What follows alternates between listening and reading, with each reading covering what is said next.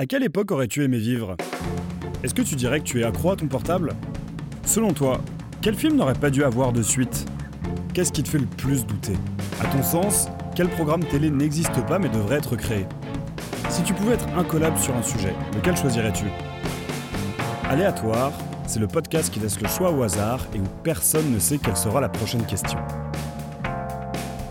Dans chaque épisode, j'échange avec une personnalité, qu'elle soit artiste, sportif, humoriste ou un congénère podcasteur, en lui posant 20 questions piochées au hasard. Je suis Jacques et vous écoutez Aléatoire.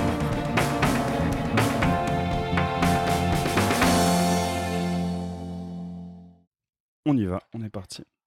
Eh bien, bonjour à toutes et à tous, euh, chers auditeurs et auditrices euh, d'Aléatoire, et bienvenue dans ce nouvel épisode où je suis très content de recevoir quelqu'un euh, dont on a déjà beaucoup parlé dans un épisode. Ah bon? Et bah, on se demande dans quel épisode ça pouvait bien être. Il s'agit donc d'Anissa Omri, et donc les plus fervents auditeurs et auditrices se souviendront de son nom s'ils ont bien écouté attentivement l'épisode avec Elsa, qui était l'épisode numéro 4. Bonjour Anissa, Bonjour tu vas bien? Oui, ça va et toi? Malgré la chaleur. euh, Bah c'est ça, on a très très chaud mais on est bien. C'est, euh, je crois que c'est le- l'épisode le plus euh, chaud euh, Ouais. que, je, que je fais. euh, Je te depuis, euh, l'espère, j'espère pour toi, vraiment. Oui, j'espère aura pas plus chaud. Il y aura pas plus chaud. Oui, alors ça. ça- hein, voilà. Donc, alors, qui est Anissa? Bon, Donc, tu es auteur. Et, Ouais. c'est, ça, c'est dans la vie de, de tous les jours. C'est ton métier. Tu es auteur pour des séries et pour des, pour des films, c'est ça? Ouais, c'est ça, je suis scénariste. Tu es scénariste, exactement. No- notamment, tu as travaillé sur Drôle Ouais. pour Netflix et tu sors de l'école euh, Courtrage-Mais, c'est ça? C'est ça, exactement. Et bah, du coup, je veux bien que tu, euh, tu nous racontes un peu déjà l'expérience euh, Courtrage-Mais parce que j'ai eu peu de, j'ai vu peu de témoignages sur, euh, sur cette école. C'est encore jeune, ouais. Bah, c'est ça, ouais. C'est, c'est- ça a été monté par Lajli, c'est oui, ça? exactement, qui est le réalisateur et l'auteur de Des Misérables. Exactement, ouais. Euh, pleinement euh, primé, très beau film. ça. Bah, très très beau film, ouais. Très très Euh, très beau film. Euh, non mais c'est vrai que c'est encore très jeune comme école. Moi j'étais dans la promo 3, tu vois, et c'était en 2020. Donc là ils en sont Ah à la oui. promo 4 ou 5. Donc c'est encore tout frais. Euh, et sinon, mais je sais pas, tu veux savoir quoi? Parce qu'il y a plein d'aspects différents, quoi. Bah, en, en quelques mots ou euh, bah, écoute, du coup, visiblement, euh, t'es donc promo 2020, donc j'imagine que ça n'a pas été tes premières études. C'est vrai. J'ai 31 ans, pour info. Qu'est-ce que t'as fait avant et comment t'as décidé de, de faire l'école pour, euh, pour devenir scénariste? Ouais, et ben moi j'ai commencé par un bac littéraire déjà. Très bien. Voilà, je fais partie de ces gens-là, comme tu l'auras compris chez moi, euh, qui a plein de trucs de Camelot parce que je suis une littéraire en fait, c'est pour ça. Et euh, bac Très théâtre, jolie justification. Très, très, très j'ai jolie. toujours mes petites roulées et mes trucs de Camelot quoi. Parfait. Tout est là. Euh, après, Si on cherche, il y a des bolasses planquées quelque part ou Je- euh, non. quand même pas? Franchement, non, j'ai dû les vendre malheureusement. Voilà, je suis trop pauvre. Euh, carrément, trop pauvre pour avoir des. Trop Là, vraiment, on est sur un beau bac L quand même. On est sur un bac L. réussite là. Une grosse compétition, ouais. Non, j'ai mis de bolasses. Mais non, après, je suis rentrée en fac de droit. Mhm. euh, par pression parentale, principalement. Ça m'intéressait pas de ouf, mais bon. Il a fallu faire ça. J'ai passé toutes mes années.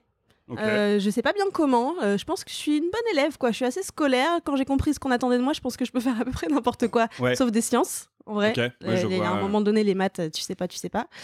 Euh, et donc voilà, finalement, Master 2 en droit du travail, droit Mhm. social, Ah ouais euh, qui était, c'était intéressant, mais j'étais pas douée en vrai. Je passais vraiment toujours un petit Oui, peu. euh, ok, je vois. ouais. et ça m'intéressait pas.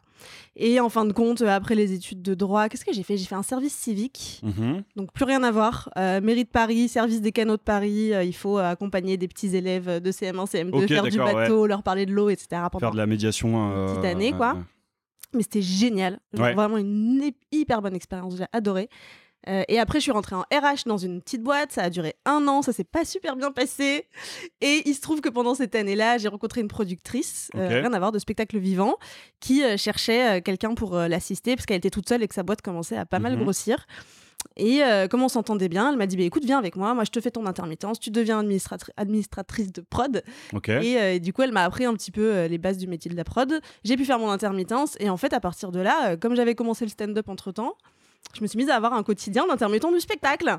Donc, Très bien. des journées plutôt cool.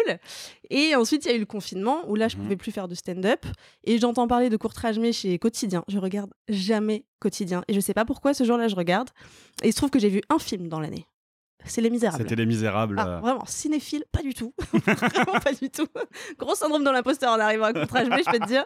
Vraiment, c'est terrible. Mais j'avais vu ce film et je me dis, ah tiens, Lajli et tout, alors ce qu'il a à dire. Il parle de son école. J'en parle à mes copines. Avec deux copines, on décide de faire l'exercice de s'inscrire. De toute façon, on n'a rien à faire, on Bah verra ouais. bien.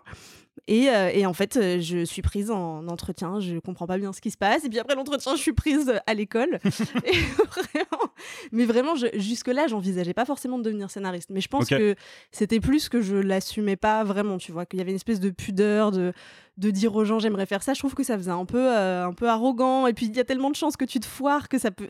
Il faut se préparer, en fait, psychologiquement, à ce que ça rate et, Ouais. et que du coup, tu puisses assumer ça aussi euh, en société. Donc, comme c'est arrivé très très vite, moi, le temps que je que j'ai un peu envie et que je le fasse pour le sport de m'inscrire et que finalement ça marche, et ben ça va. Finalement, ça s'est bien passé. Mais je pense que si je l'avais trop réfléchi, je l'aurais jamais Ouais, fait. ok, d'accord. Ça a été un peu un, un peu un truc euh, coup de tête Ouais. de, Ah, mais vraiment. de faire. Et du coup, l'école en elle-même, tu recommandes euh, Ouais, bah bien sûr, c'est- une expérience incroyable. Déjà, c'est gratuit. Ouais. Mine de rien. Oui, alors il y a C'est- les- la cité du cinéma de Luc Besson est gratuite aussi. et je- Elle l'était, et- parce et- que ça n'existe plus, du coup. euh, bah, euh, vu de ce qui vient de sortir sur euh, le film Arthur, il y a peu de chances que ça continue d'exister. Ouais, effectivement. mais je me euh. demande, ça a pas. Ah non, mais l'école de la cité? Ouais, ouais, ouais, la Je crois que cité ça a du. euh, fermé l'école de la cité. hein. Bah, en tout cas, là, récemment, il y a eu un énorme, euh, il y a eu un gros scandale, Ouais. dans le sens que tu as vu, ils ont sorti euh, Arthur Malédiction. Ouais, ouais, ouais. Et en fait, tu as plein d'anciens élèves qui ont révélé qu'ils ont bossé dessus gratuitement, en fait. Et que. euh, C'est pas ça qu'on entend par école gratuite. C'est hein. pas une école qui te fait bosser plus- gratuitement. C'était plus une réserve de, de- de personnes à exploiter que, que de vrais. euh. Ok, mais Ah, donc, donc Mais oui, je recommande à fond. C'est vraiment génial. En plus, c'est assez intense. C'est trois mois. Ouais. Ah ouais, d'accord. En vrai, c'est possible de prendre trois mois euh, si t'as un chômage ou une intermittence ou quoi, ou des parents derrière ou quoi que ce Carrément, soit. ouais. Vaut mieux pas avoir un job à côté parce que franchement, c'est vraiment du 35 heures par semaine quasiment. Beaucoup de travail à côté. C'est intensif, quoi. Ouais. C'est intensif, mais vraiment, il y a zéro concurrence entre les élèves. Mhm. Alors qu'en vrai, euh, ils en sélectionnent que trois des projets à la fin. Sur les 15 élèves de la promo, il y a que trois projets qui vont être réalisés. Et en fait, il y a une entraide de malades en- dans les élèves de la promo scénariste, mais aussi avec les autres euh, promos, tu vois. Ok. D'accord. Parce qu'il y a une euh, section réalisateur, il y a une section art et image qui fait un peu des beaux-arts, etc. Et en fait, c'est une espèce de communion là, de, de- c'est incroyable. Ok, d'accord. Et donc, toi, tu avais, choisi. Alors, pourquoi tu avais choisi euh, bah, scénariste plutôt que, je sais pas, réalisation ou Ah, production alors la réalisation, moi, pas du tout. Ok. Vraiment, je sais pas si un jour, par la force des choses, je vais devoir y passer ou avoir envie de m'y former un petit peu, c'est possible. Peut-être que je vais sentir les limites à un moment donné de pas du tout avoir de compétences techniques, mais surtout, j'ai vraiment pas un, un sens de l'esthétique, moi. Vraiment, c'est, je ne vois pas, quand j'écris, je vois pas du tout ce- les images. Je, suis nulle, nulle, un nulle sens à de la formule, mais Ouais. pas un. Mais j'adore voir comment les films ont été faits, les making-of et tout. Et à chaque fois, je suis vraiment surprise, quoi. Je me dis pas, ah d'accord, euh, ouais, effectivement, moi j'aurais pas fait comme ça. Je dis, waouh, mais quelle bonne idée, c'est fou, ils ont mis un truc qui roule et puis ça fait une image qui bouge et c'est incroyable. Donc vraiment, j'ai aucun sens de ça à la base. D'accord, d'accord, je vois. Et du coup, ouais, maintenant, tu as été, bah, donc, as été sur euh, Netflix. Enfin, tu as, bossé sur Euh, Drôle de ouais, Netflix sur et tu as Drôle. bossé sur d'autres projets qui sont euh, sortis déjà ou, euh, Euh, non, pas tant que ça, parce qu'en fait, c'est en fait tout Ah récent. oui, c'est tout récent. Donc, euh, Donc euh, non, pas tant que ça. Euh, j'ai été en compagnonnage avec une euh, nana qui s'appelle Sabrina Beccarine, qui avait fait un très très très beau film avec Léo Carman qui s'appelle La dernière vie de Simon. D'accord. Je comprenais pas ce qu'il y avait Euh, écrit sur ma, sur ma tasse. Ouais, euh, c'est la cité européenne des scénaristes. Et il y a écrit Je compagnonne et toi. Et je me dis, mais Ouais. c'est quoi C'est les compagnons de France Ça c'est assez. c'est ben, ce carta- oui. Ah, ok. Enfin, c'est pas les compagnons de France, mais c'est l'idée en tout cas. C'est l'idée, ok, mais. euh, C'est de voir vraiment le scénario comme un artisanat. Ok, d'accord. Donc c'est pas un truc d'artiste. En fait, quand t'es scénariste, tu fabriques un document technique qui Ouais. va servir pour toute une équipe derrière, qui va bouger. Ton, c'est pas une œuvre en soi. Tu Oui. vois. Personne ne consomme du scénario tel quel. Euh, et du coup, la Cité européenne des scénaristes, ils ont pour ambition de former des scénaristes en compagnonnage avec un scénariste pro et vraiment expérimenté Mhm. qui t'emmène avec lui sur ses projets, etc. Et donc moi là-dessus, j'avais été emmenée sur un long, euh, long métrage pour Gaumont qui va être un film euh, un peu fantastique. euh, On pourrait dire que c'est pour les enfants, mais en fait, pas vraiment. Bon, je peux pas trop en dire non plus. Bien sûr. Mais ça, c'est quelque chose normalement qui devrait sortir en 2023, d'après ce que j'ai compris. Et qui est du coup un énorme projet. Et c'est assez fou de, de bosser sur, euh, sur un truc comme ça. Parce que c'était pas que l'écriture pour le coup, c'était aussi, euh, tu vois, les, les retours euh, des prods, euh, rencontrer les producteurs de chez Gaumont. Ouais. Donc c'est hyper intéressant. Ok, super. Donc voilà. Très bien. Et du coup, à côté de ça, bah, tu fais du stand-up, comme Bah tu oui. viens de le dire et comme j'ai présenté. Et t'en fais notamment avec notre Elsa. chère Elsa, qu'on embrasse évidemment, et avec qui en fait tu as monté euh, le Cercle du Rire pour faire, pour faire du stand-up en quelque sorte. Et Ou ben t'avais oui. déjà commencé avant euh, Non, non, non. non, ouais. Le cercle, c'était vraiment pour notre toute première scène. Ok. Ce qui est assez, un peu un cas d'école, hein, on va dire. Ouais, bah. Franchement, c'est assez rare. Euh, je sais plus vraiment pourquoi on a fait ça. Je pense que ça nous paraissait euh, plus simple à l'époque. Mais aujourd'hui, c'est pas forcément un truc que je conseille. J'en sais rien, en vrai, je sais pas. Mais aujourd'hui, on voit plus ça comme de l'inconscience avec Mhm. Elsa que comme une super bonne idée. Même si au final, bah, je sais pas, c'est quand même difficile d'organiser un plateau quand tu connais personne. On n'avait pas vraiment de réseau à l'époque. On connaissait un mec qui connaissait un peu des gens. Et, enfin, Du coup, on dépendait beaucoup de lui pour ramener des gens. Puis après, on a rencontré un autre mec qui connaissait plein de gens. Et en fait, on dépendait de beaucoup de, ouais. enfin de beaucoup de quelques lieutenants comme ça qui allaient nous chercher des gens, mais que nous on connaissait pas très bien. Euh, et du coup, bah, de fait, on a eu plein de couacs d'organisation. Et puis quand c'était première scène, en vrai, organiser, ça fait une sacrée pression. Quoi. Ouais, bien sûr, ouais. Tu vois, il faut remplir, euh, il faut négocier le truc avec le boss du, du, du bar, il faut euh, s'assurer que les gens sont bien installés, que les humoristes sont bien reçus, qu'on dépasse pas les temps, qu'il fait pas trop chaud, pas trop froid, qu'il n'y a pas de problème de son. Et en plus, il faut aller jouer, quoi. Donc, tu vois, je sais pas si je recommanderais forcément. euh, Là, il y a suffisamment de plateaux pour les jeunes euh, humoristes pour aller s'entraîner à un endroit où t'as que ton texte à penser. Quoi, Ok, Euh, ouais. Parce que ouais, vous l'avez peut-être commencé aussi à une époque où il y avait nettement moins de, Oh. de- de plateaux. Il y en euh, avait moins. C'est sûr qu'il y en avait moins, mais ça commençait à être, il Ça commençait à y commence, en avoir vraiment beaucoup. Et d'ailleurs, je pense que c'est pour ça qu'on s'est dit que c'était facile à faire, c'est que vu que tout le monde le faisait, Oui, oui, oui. mais sauf que les gens qui le faisaient, ils avaient vraiment de l'expérience, quoi. Mais en tout cas, je trouve ça très très euh, punk, moi, comme démarche. Ouais. Ça, je suis assez admiratif de. C'est vrai ce qu'on peut dire euh, ça aussi. Mais de fou, c'est totalement. euh, on était totalement dans un truc euh, do it yourself euh, qu'on peut retrouver dans les scènes musicales que j'affectionne. Nation. qui est, ben non, justement, pas Startup Nation. Si, en mode, c'est un point commun avec la Startup Nation. On a Ouais, fait. ouais, mais pas avec le, le même objectif. Startup. Nation, il y a l'objectif de se faire racheter par Google. Là, il y a l'objectif de se faire kiffer et de. et Bon, de après, si on se fait racheter par Google, le cercle, moi, ça me va. hein. Ah on sait jamais. Bon, bah, je vais arrêter l'épisode ici. Ce sera l'épisode le plus court. Euh, bonne journée à toutes et à tous. C'est vraiment une blague hein, pour les auditeurs de Jacques, euh, vraiment. Euh, oui, j'espère. Et du coup, tu as aussi un podcast avec Elsa. Absolument. Euh, une bonne fois pour toutes. Ouais. Donc je te laisse, euh, parce que pareil, on a eu la présentation du Cercle du Rire par Elsa, on a eu la tienne, euh, on a eu la présentation de Une bonne fois pour toutes par Elsa, il nous faut C'est vrai. ta présentation à toi du maintenant. podcast. Bah Donc. C'est une bonne fois pour toutes, effectivement. Tout à l'heure, je t'ai dit que ça faisait 4 ans, mais je crois que ça fait plus 3 ans, en fait. Je, bah, euh, oui, je pense que ça fait plus de 3 ans parce que vous l'avez. euh, parce que donc, Une bonne fois pour toutes est enregistré dans les locaux de mon ancienne boîte, Tout à fait. qui est Cosa Vostra. Et je suis arrivé à Cosa Vostra il y a un tout petit peu plus de 3 ans. Et quand je suis arrivé, Elsa n'avait même pas l'idée de faire un podcast. Ah oui, d'accord. donc je pense que ça fait 2 ans et demi, euh, une bonne fois. Ouais, un truc comme ça, ouais, toutes, 2-3 ans, en fait. Un peu, ouais, un peu avant la pandémie. euh, Mais c'est ça, parce qu'en fait, on est en saison 3, là, techniquement. Donc, ça doit faire à peu près 3 ans. Euh, donc voilà, c'est un podcast euh, d'humour, je pense, et un petit peu de débat aussi. C'est un mélange entre du premier et du second degré. mhm. Moi, j'aime bien dire que c'est une conversation de bistrot. Ok. Donc, à chaque fois, on invite un humoriste pour répondre à une question qui n'a pas vraiment de réponse. Genre, le premier épisode, c'était Est-ce que Dieu existe? Typiquement, la question. Euh, on a fait euh, pas mal de trucs, genre euh, Est-ce que sucer, c'est tromper Est-ce qu'il faut rester ami avec son ex? Vois, Des trucs un peu plus love. Mais aussi, est-ce qu'il faut être torturé pour être un artiste? Enfin, toutes ces questions-là. À chaque fois, on invite un humoriste, ça dure une petite heure.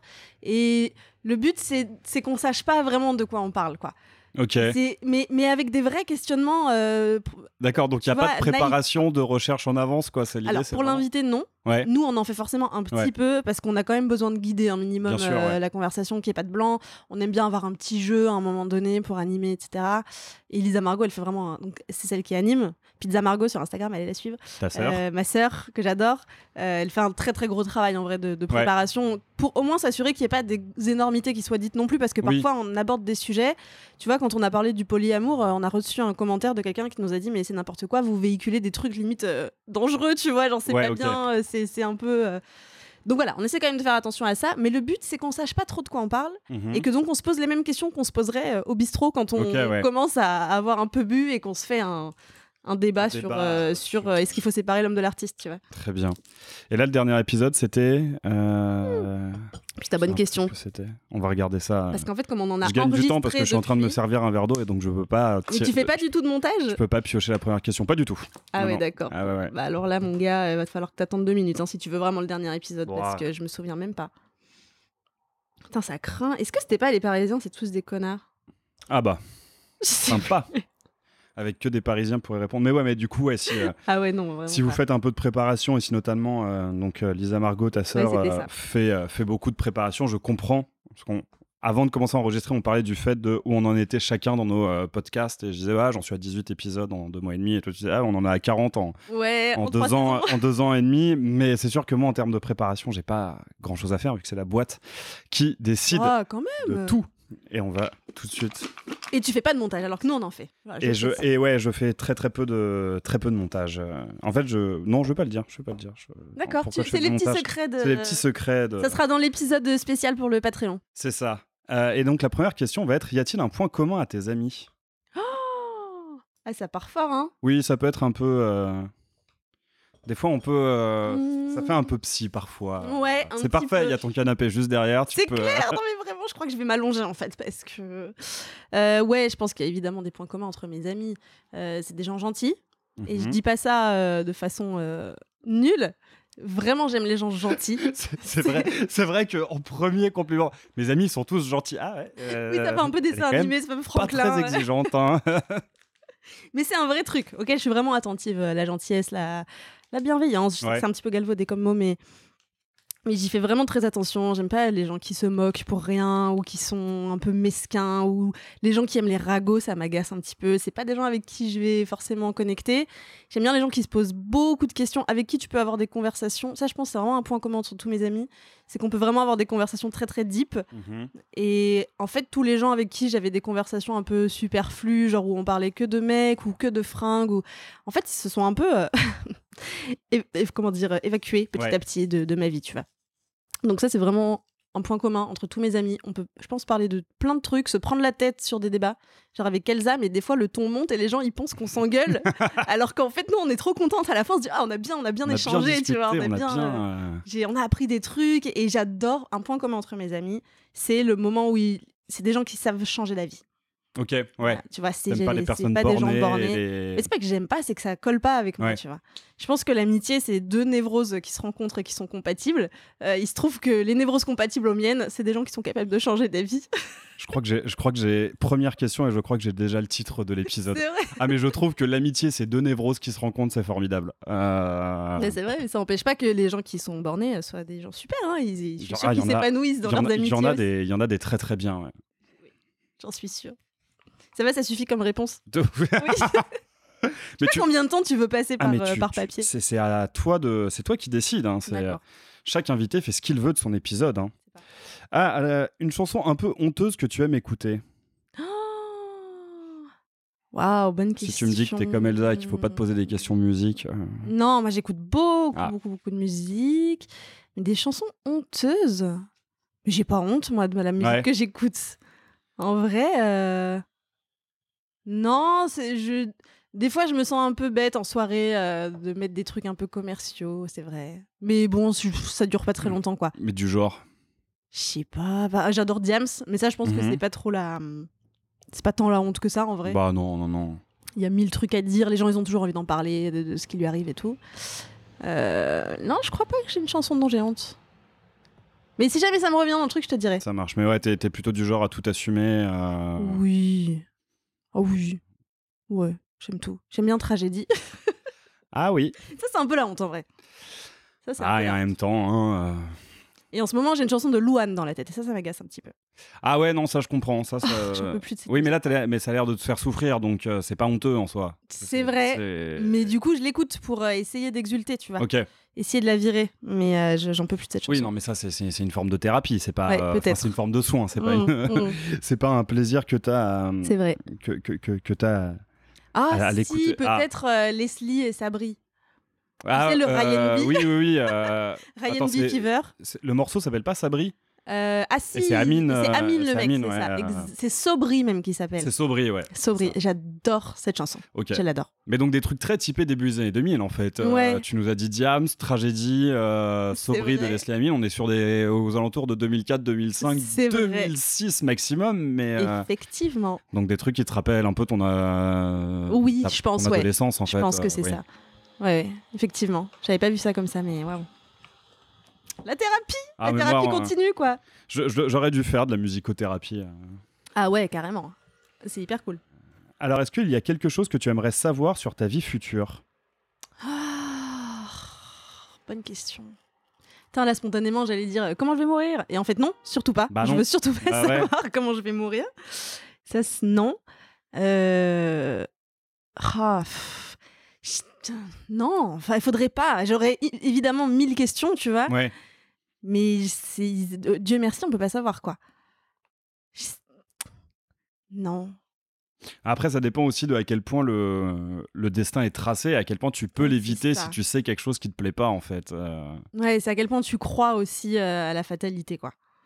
Donc si c'était un truc que je pouvais changer, mais en fait non, ça serait, ça serait plus euh, si je rencontrais un voyant qui était vraiment sûr de pouvoir, si- enfin on est sûr de, je suis sûr qu'il sait. Je pense que je lui demanderais pas ce qui va m'arriver. Je lui demanderais genre juste un indice sur comment je peux ajuster là aujourd'hui pour éviter un truc euh, pourri, tu vois. S'il me dit en vrai, euh, arrête la clope. Ouais. Je veux pas en savoir plus. Est-ce que c'est parce que dans 6 mois je fais un infarctus? Est-ce que c'est parce que dans 20 ans je fais un cancer? Je veux pas le savoir. Juste Mais, euh, ouais, petit indice, tu vois. C'est horrible de savoir. Enfin, on, Ah ouais. c'est- on Mais du coup, ouais, envie. t'aimerais plus un indice sur le comportement ou sur les attitudes que tu dois Ouais, avoir un petit que, euh, que, que savoir un exactement. petit ce qui- conseil de prends pas ce taf. Ouais. En vrai, tu vas voir, ça va. Ou, ou quitte ce mec. Ok, ouais. Juste sans qu'on me dise On pourquoi. Mais ouais, mais alors, est-ce que. Alors, il y a des trucs où effectivement, je pense que si un voyant, euh, où on est sûr que ce qu'il dit se réalise, te dit euh, arrête la clope, bon, il n'y a, pas de. Tu as une idée de ce qui peut arriver, mais sur le prends pas ce taf, quitte ce mec, euh, pars pas en voyage à cet endroit. Oui. euh, tu peux avoir un petit truc aussi de te dire, merde, mais pourquoi Il va se passer quoi? Euh, Une curiosité malsaine aussi vis-à-vis de toi, où tu. euh, Ouais, mais malsaine. Ouais, bah, où tu te doutes que c'est risqué. et- En fait, ce qu'il faudrait, c'est que ce voyant, on n'ait aucun moyen de le contacter. c'est vraiment que ce soit lui qui t'envoie genre un texto. Et, tout. et tu peux pas poser de questions, tu peux, tu peux rien faire, tu vois. C'est un dealer ton voyant en fait. C'est Enfin, un dealer. non, non, c'est un. En fait, c'est un genre de. Oui. Je sais pas. Mais il faudrait pas qu'on puisse discuter avec, quoi. Ouais. Parce que sinon, évidemment, c'est trop tentant. euh, Bah oui, oui. Il faut que ça soit gratuit, parce que si t'as payé, tu vas vouloir des réponses. Bah oui. Donc, ça, ça fait beaucoup de conditions, en fait. Ouais, le modèle économique est Le modèle pas. économique est pas dingo. Je suis un peu d'accord. est pas, pas exceptionnel, ouais. Euh, ah, si tu devais te décrire en cinq mots. Ouh. Alors, est-ce que je fais la, la bio Tinder classique de je suis belle, intelligente, drôle, mais surtout humble? J'en peux plus de voir ce truc, j'en peux plus. Euh, non, en cinq mots. Je l'ai Oh pas là beaucoup là. vu. Ça fait longtemps que je suis pas allé sur Tinder, mais je l'ai pas beaucoup vu. ce- Bah, en tout cas, même sur scène, parfois, je l'entends de la part de gens. Et Ouais. Ça fait partie des trucs qui sont plus drôles, en fait. Ça y est, c'est chiant. Euh, en cinq mots, waouh, j'en sais rien, moi. Je pense que. Je sais pas. Je suis petite. On va faire que du physique, c'est plus Ça simple. va, ça va, t'es pas. Bah, je fais un 58. Hein. Oui, c'est pas. Bon. Je pense que je pense que je suis un peu feignante. Ok. en vrai. Ça, euh, bon, qui a un défaut qualité. Parce que du coup, euh, je passe pas trop de temps à faire des trucs. Mhm. ça, ça- non, mais en vrai, la feignantise, ça induit une certaine efficacité Ah, à en fin Ouais, compte. totalement, totalement, ouais. Donc, j'apprends à me servir de ce défaut comme euh, une qualité, ou alors je me mens à moi-même. c'est possible. Non, bah, écoute, je pense que j'ai le même défaut, donc euh, je suis entièrement Ouais, d'accord avec toi, c'est Anissa. euh, Un truc trop bien.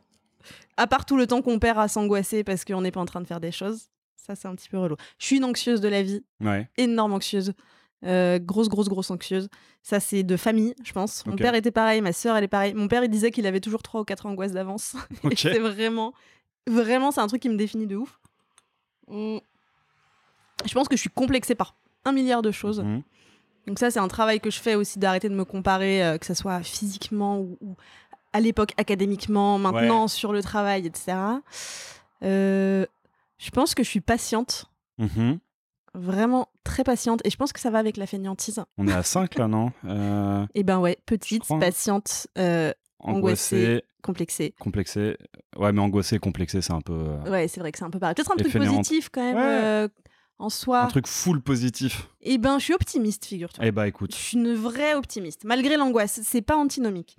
Mais alors, tu, tu, tu me parles de ouais de, de, de- d'angoisse, enfin angoisse complexe et de fainéantise. T'es vraiment sûr que c'est de la fainéantise ou est-ce que c'est pas plutôt une peur de l'échec qui te, Ah, mais si, bien qui, te ralentit? Je pense que ça se co-construit en fait. Bah, c'est Euh, ça. Clairement, c'est c'est un syndrome de l'imposteur de malade tout le temps. Mais c'est fou, quoi. Vraiment, depuis le bac, en fait. Ok. Même en fac de droit, alors que je m'en battais les couilles du droit, j'avais l'impression que j'avais rien à faire ici. Et effectivement, j'avais rien à faire là-bas. Mais ça, c'est une autre histoire. t'as réussi à aller jusqu'au master, donc. euh, Oui, mais dans le sens où ça me faisait pas rêver, tu vois. Oui.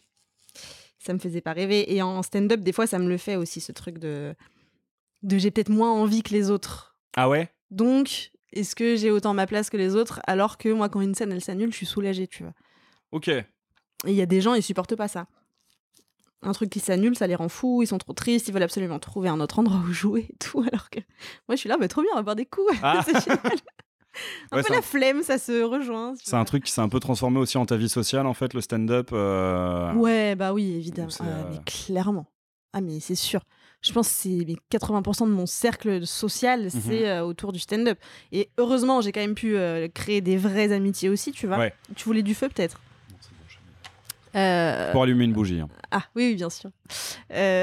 Non, non, il y a aussi des, des vraies amitiés, mais il y a aussi plein de gens comme ça que tu croises et que tu es toujours Mhm. content de croiser, même si c'est pas euh, des amis avec Oui, qui tu vois, bah ouais, les très bien, appeler euh, mais- si t'es mal ou quoi, mais Mais que t'es quand même content de croiser, de Ouais. boire un coup avec. euh, c'est ça, ça fait toujours plaisir en fait. Je... Oui. Mais du coup, je sais plus pourquoi on parlait de ça. On parlait des. Si tu devais te décrire en cinq mots, et tu Oui. disais que t'avais euh, que t'avais peut-être moins la dalle que les autres Mm, euh, au niveau mm. du stand-up et que du coup tu complexais par Ouais. rapport à ça. et- Ou en tout cas, ça nourrit aussi le syndrome de l'imposteur. Ouais. Alors qu'en fait, c'est pas. Tiens, c'est fou, c'est vraiment la conversation que j'ai le plus en ce moment avec des gens.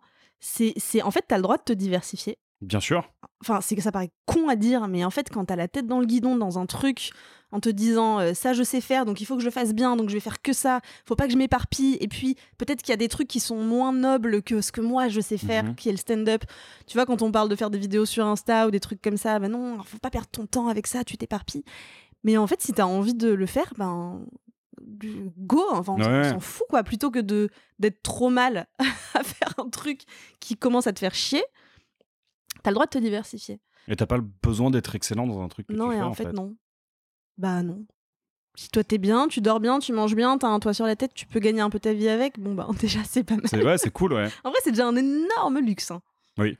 C'est franchement, je, je réalise en ce moment que j'ai vraiment de la, de, la, de la chance. Quoi. Je suis un peu une privilégiée quand même de des journées que je vis. hein. Franchement, c'est vraiment déjà avoir le luxe d'avoir la flemme et de pas faire. Moi, je recommande. Ça devrait être un objectif de vie euh, pour tout un chacun. Écoute, bah alors je, je sais que cette question ne, ne sortira pas parce qu'elle est sortie lors du précédent épisode et que les questions sorties lors d'un épisode ne peuvent pas sortir euh, à l'épisode suivant. D'accord. Oui, parce que sinon les questions revenaient. Il y en a, il y avait des questions qui revenaient beaucoup trop euh, tout le temps. Mais il y avait une question du coup qui était euh, est-ce qu'il y a quelque chose considéré comme un luxe dont tu ne peux pas te passer? Et donc Bah, ta voilà. réponse aurait été la flemme. Ah ouais. Ouais, Ah, mais comprends. large. Je suis assez, je suis assez d'accord. Et l'oisiveté, en fait. Ouais. C'est plus ça. C'est même pas la flemme. Ouais, c'est s'ennuyer. Ah ouais. L'ennui c'est vachement bien en vrai. euh, Oui. Oui, oui, complètement. Et c'est vraiment quelque chose qu'il faut apprendre à, à acquérir, en fait, parce que ça peut faire peur de base. Et il y a beaucoup de gens qui le fuient à tout prix. Alors qu'en fait, une fois que tu sais t'en servir pour, euh, je sais pas, te détendre, méditer, euh, ne rien foutre, c'est. c'est Avoir des idées. Ah ouais. Et puis développer l'envie, tu vois, de, de faire des trucs. Ouais, carrément ouais. Au lieu de courir après constamment tous les projets. Moi, j'ai trop besoin de ça, ouais. Ouais, je, je suis assez, euh, Mm. je suis assez d'accord sur cette euh, vision de la, de la flemme et de, et de l'ennui. Ouais. Euh, alors, j'ai très hâte de connaître ta réponse. Y a-t-il un sujet de conversation un peu absurde que tu aimes lancer dans les soirées? Oh là Ouf, je crois, sûrement, mais... euh, Mais tous les sujets absurdes, j'aime bien les lancer. Oui, bah, tu peux en donner plusieurs. Hein, euh. Ah. En fait, moi, j'aime bien... Alors, c'est pas un sujet en soi, mais il y a un truc que j'aime bien faire quand je suis en forme, parce qu'il faut être un peu en forme. C'est quand tu viens de rencontrer quelqu'un, au lieu de faire du small talk, poser des questions vraiment dures, tu vois. De, de religion, de rapport à tes parents, de... J'aime bien, je sais pas, genre l'autre fois, je parlais avec une meuf, et on parlait juste de ce qu'on faisait dans la vie, et je lui ai demandé ce que ses parents, ils en pensaient. je sais pas pourquoi. Ça peut être dangereux, ça. Ça peut être. Et ben, figure-toi que derrière, on a eu une vraie conversation super deep qui d'un coup a basculé en fait d'un Ouais. small talk à euh, putain, on, on se connaît pas et on se livre des trucs sur nos névroses quoi. Clairement, c'est c'est parce que tes parents ils te laissent que ça, hein, des névroses. hein. De toute Oui, façon, c'est oui, que des combats qu'ils te laissent. Donc euh, Ça, j'aime bien. Mais un sujet absurde en soi, euh, non, je crois pas. Et, et ce truc de, de virer euh, de- du small talk à, à une question ultra deep, c'est un truc que tu fais dans tes dates? Ah ouais, mais évidemment, c'est c'est le, meilleur truc. C'est trop bien, c'est hyper déstabilisant pour tout Bah, le monde. c'est Et puis sous couvert d'humour, en vrai, ça brise la glace parce que les gens, ils ont envie de parler de, tu vois, quand tu leur poses des questions un peu à... Donc au début, ils sont là, oh waouh, d'accord, donc on va parler de ça. Et en fait, oui, évidemment qu'on va, en... qu'on va en parler. et et ça, ça- c'est drôle, trois minutes, et après, ça l'est plus. Ah du bah tout. après, ouais, tu... euh, Normalement, après, on se confie pas mal. C'est bien. Bah, ce, qui est, ce qui est assez drôle, c'est que euh, le, le but premier de ces questions et de cette boîte, bon, les auditeurs et auditrices le savent déjà, mais euh, c'était à la, à la base, ces questions sont faites pour un jeu de brise-glace, de date, en fait. Ah. Où euh, c'est ma meilleure amie qui l'avait euh, développé, je lui avais fait un petit coup de main, et l'idée, c'était justement de d'éviter les dates où oui bah moi j'aime bien les voyages et la musique ah bah oui et puis moi Ah, j'aime bah, bien cuisiner et toi t'es à côté euh, avec tes potes à boire un verre et tu les entends et t'es en mode oh là là là là là là Ça, c'est chiant. c'est, mais en plus c'est horrible quand t'assistes à ce genre de choses et que tu fais pas. Oui, mais c'est dur pour tout le monde, c'est vrai. Oui, oui. faudrait le dire maintenant quand même. C'est ça, mais Arrêtons. faudrait qu'on ait le droit d'intervenir et de dire euh, excusez, Mm, euh, mm. excusez-moi, je vois bien que vous galérez. Je suis l'arbitre du love. je euh, vous propose un sujet de conversation et puis euh, tu devrais faire ça en fait. Ouais. Tu, tu devrais grave faire ça euh, et tu te fais. euh, C'est vrai. C'est vrai. Parlez-vous de votre. euh, au- Mais au moins, en vrai, des... même des trucs faciles du genre ton pire souvenir. Ou... Ouais. Sans parler de tes névroses, tu vois, mais.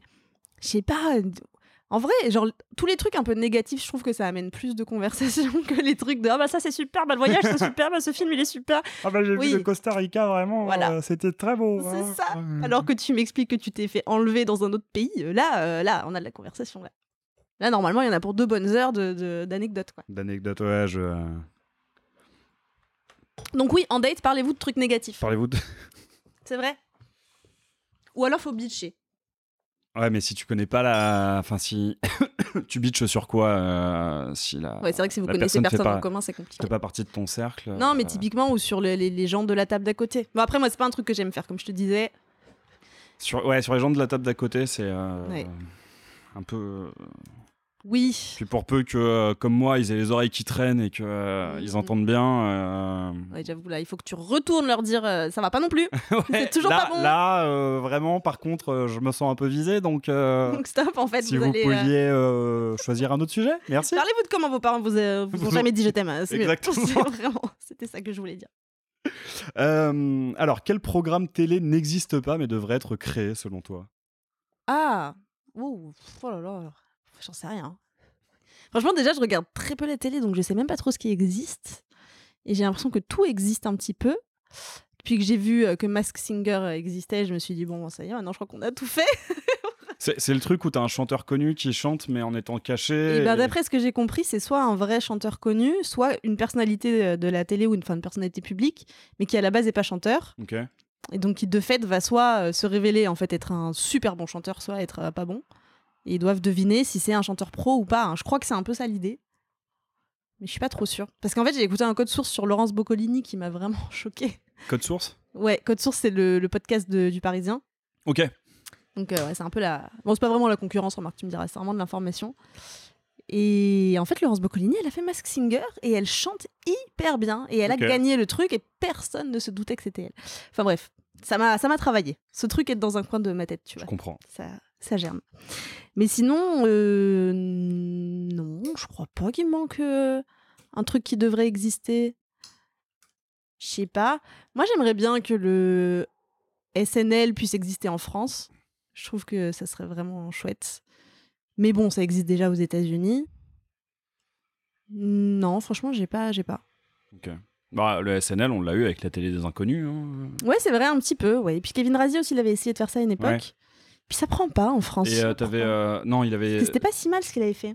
Gad Elmaleh avait pas essayé de faire un truc dans le genre aussi euh, Ah ouais à un moment, ouais. Ah putain, ça me dit vaguement quelque chose, ouais. Et sauf que ça s'appelait vraiment. Et je crois qu'en plus c'était sous licence, donc ça s'appelait Saturday Night Live. Ah ouais, d'accord. Mais c'était diffusé un jeudi, donc ça n'avait aucun sens. euh, Il me Ah. semble ouais, que, euh, qu'il y a eu une tentative de SNL par Gad Elmaleh, qui est pas peut-être pas la personne à qui je confierais le plus un Oui. Ouais, ouais, ouais, je sais pas. SNL et euh, Après, c'est un showman, hein, il y a pas à dire, il est, il est très bon en. Mais ouais. J'avoue que c'est pas du tout ma, ma, ma cam, moi. Mais, euh, Ah ouais. Ah ouais, non. euh, Ah ouais, non, moi, il m'a jamais fait esquisser ne serait-ce qu'un sourire. Ah, euh, Gad Elmaleh, ouais, je croyais. SNL, d'accord. Ah non, non. euh, Mais non, sinon j'aurais dit le- une bonne fois pour toutes, mais du coup ça existe déjà. Comme on l'a fait nous? mais pas à la télé. Et ben pourquoi pas Et pourquoi pas? Sur Arte, ça Est-ce rendrait que bien. c'est dans les tuyaux? Pourquoi pas? Non, c'est pas du tout dans. Oh, mince L'exclu Je pensais avoir merde. une super exclue et tout. euh, ça allait faire décoller Non, les mais en vrai, moi j'y pense de plus en plus à en Ah ouais faire un truc euh, euh, visuel, quoi, audiovisuel, quoi. J'aimerais vraiment euh, explorer un petit peu plus ce- ces recherches de réponses un peu absurdes, où au final t'apprends quand même plein de choses, tu te questionnes Mhm. sur plein de trucs. On se rend compte que ça tombe vite dans des trucs philosophiques, économiques, Bah, sûr, et ouais. qu'en fait ça convoque plein de, de disciplines différentes. Et, hum, et, et en toute euh, bienveillance sur euh, l'ignorance, tu vois Mhm. on est tout à fait ok sur le fait qu'il y a plein de choses qu'on sait pas, on le dit. Et ça, ça manque un peu peut-être à la télé, de dire Ouais. je ne sais pas. Ah bah, c'est- ce qui manque le plus, ouais. Bah ouais. Donc peut-être un show qui s'appellerait ça, on sait pas, et avec que des trucs qu'on sait pas. Ouais, ce serait intéressant, ça, pour le coup. euh, Admettre qu'on sait pas tout. Parce que moi, je trouve qu'il en manque des trucs à la télé en ce moment. Ouais. Euh, Ouais, ouais, complètement. Ça, ça, oui. C'est tout est très péremptoire en fait. Où que t'ailles, euh, peu importe la chaîne, peu importe le bord politique, Bah, c'est comme ça et pas autrement quoi. Tu te retrouves avec Ouais. des euh, commentateurs de foot qui te font des analyses politiques. T'as envie de dire, oh là là là là. Bah ouais, non, en fait, c'est pas. T'inquiète pas, si tu sais pas, c'est pas grave. Bah, hein. c'est ça en fait, t'as le droit de dire bah, je j'ai pas de réponse, j'ai Ah pas d'avis sur la question parce que je me suis pas assez ça. renseigné. euh, Donc une bonne fois pour toutes marcherait peut-être euh, pas très bien à la télé, mais je pense que ça serait pas mal. ça serait bien. Bah, sur Twitch. Bah grave, grave. Ouais, franchement, pourquoi pas. hein. Ouais. Euh, quelle est la chose que tu as acheté avec ton premier salaire? Un iPhone, Ok. tout simplement. Et j'ai payé mes impôts. J'avais une taxe d'habitation que j'avais jamais payée Ok. et qui a été euh, tout simplement prélevée de mon compte. Ok. Donc en fait, j'avais touché, clairement, j'avais touché 1400 euros. Je me suis acheté un iPhone à 1000 euros. Je vivais chez mes parents à l'époque, donc j'avais pas Mhm. de loyer. J'achète mon iPhone 1000 euros tout rond. Et en même temps, j'ai les impôts qui me prennent 700 balles. Donc je suis passée en trois jours de 1400, je suis la reine du pétrole, à moins, euh, moins 300. Donc voilà, c'était pas une- un si bon souvenir que Ok. ça. Et c'était quoi comme premier taf? Euh, bah, c'était en RH. Ah ouais, t'as pas eu de petit boulot avant euh, de. Ah si, alors si, alors en job étudiant, Ah bah oui, le premier si salaire, j'ai bossé dans un camping, je Ok. pense que c'était mon premier job en tant que serveuse. Mhm. Et c'était, j'étais pas bonne du tout, très très très mauvaise en serveuse. Alors moi j'ai un mauvais sens de l'orientation, je ne suis pas physionomiste et je suis Ok. pas bonne en calcul. D'accord. Ah autant ouais. te dire que c'est une catastrophe. J'ai vraiment beaucoup trop de gens qui sont partis sans payer parce que je les ai zappés, tout simplement oubliés. Donc j'avais des trous de caisse. Et en fait, ça me fait. Ghislain Blic, il a raconté dans un de ses podcasts euh, un truc qui m'est arrivé aussi, où lui aussi il faisait pas mal d'erreurs de caisse quand il était caissier.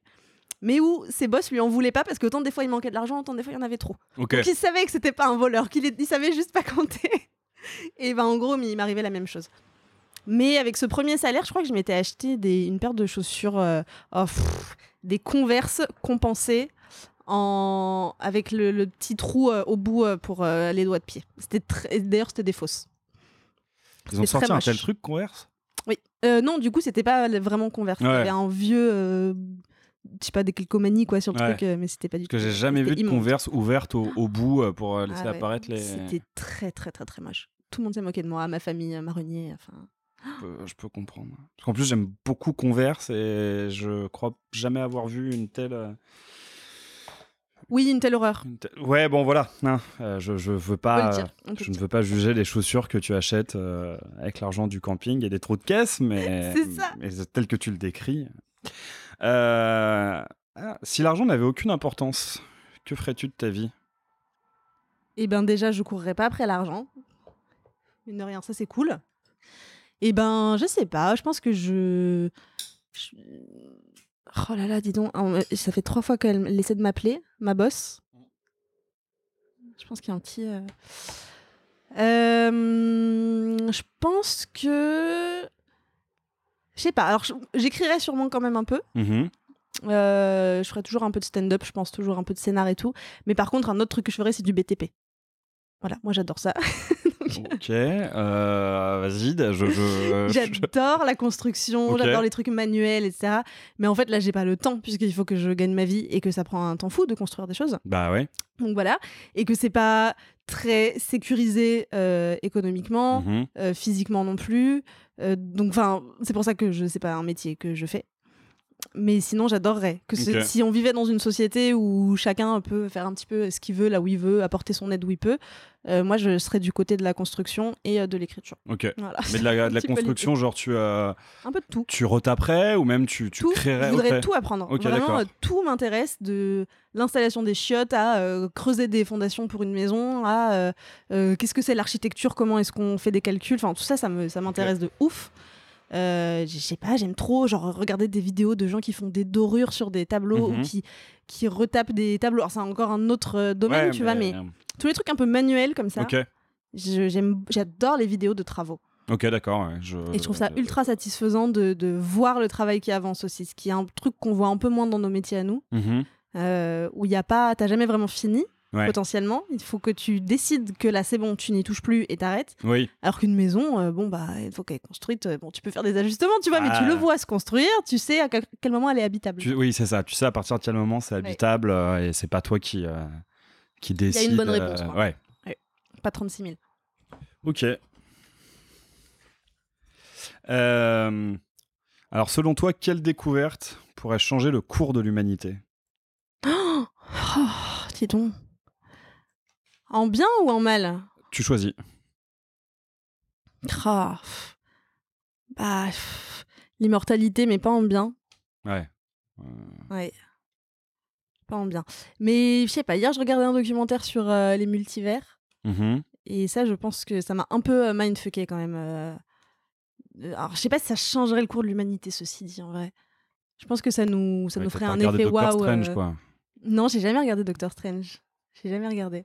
Mais peut-être euh, le voyage dans le temps. Si ça, quand même. Si, ouais, le voyage dans le temps. Ouais, je pense que c'est, ouais, ça serait très très bordélique à gérer, je pense. Ça le changerait en bien ou en mal, ouais. euh, Et bah, bonne, euh, à, à voir. À voir, ouais. À voir. Hein. Je- je- probablement pas en bien, parce que ça serait un pouvoir tellement énorme que ce serait, il y aurait forcément des abus. Grave, d'ailleurs, je pense.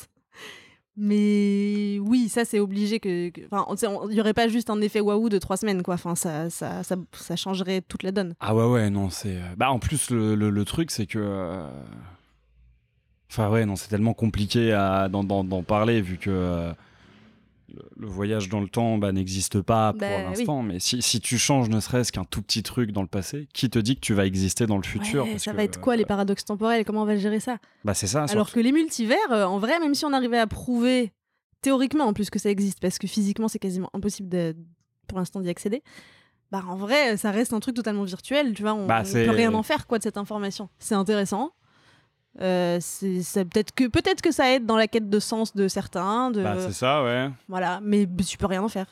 Oui, c'est le genre de truc qui va intéresser euh, trois mecs en blouse dans un laboratoire et euh, Oui, qui va alimenter des conversations en soirée quoi. c'est ça. Mais tu, tu- tu peux- ne peux rien en faire. Mais ouais, non, le, le voyage dans le temps, surtout si tu peux avoir un impact. euh, Ah ouais.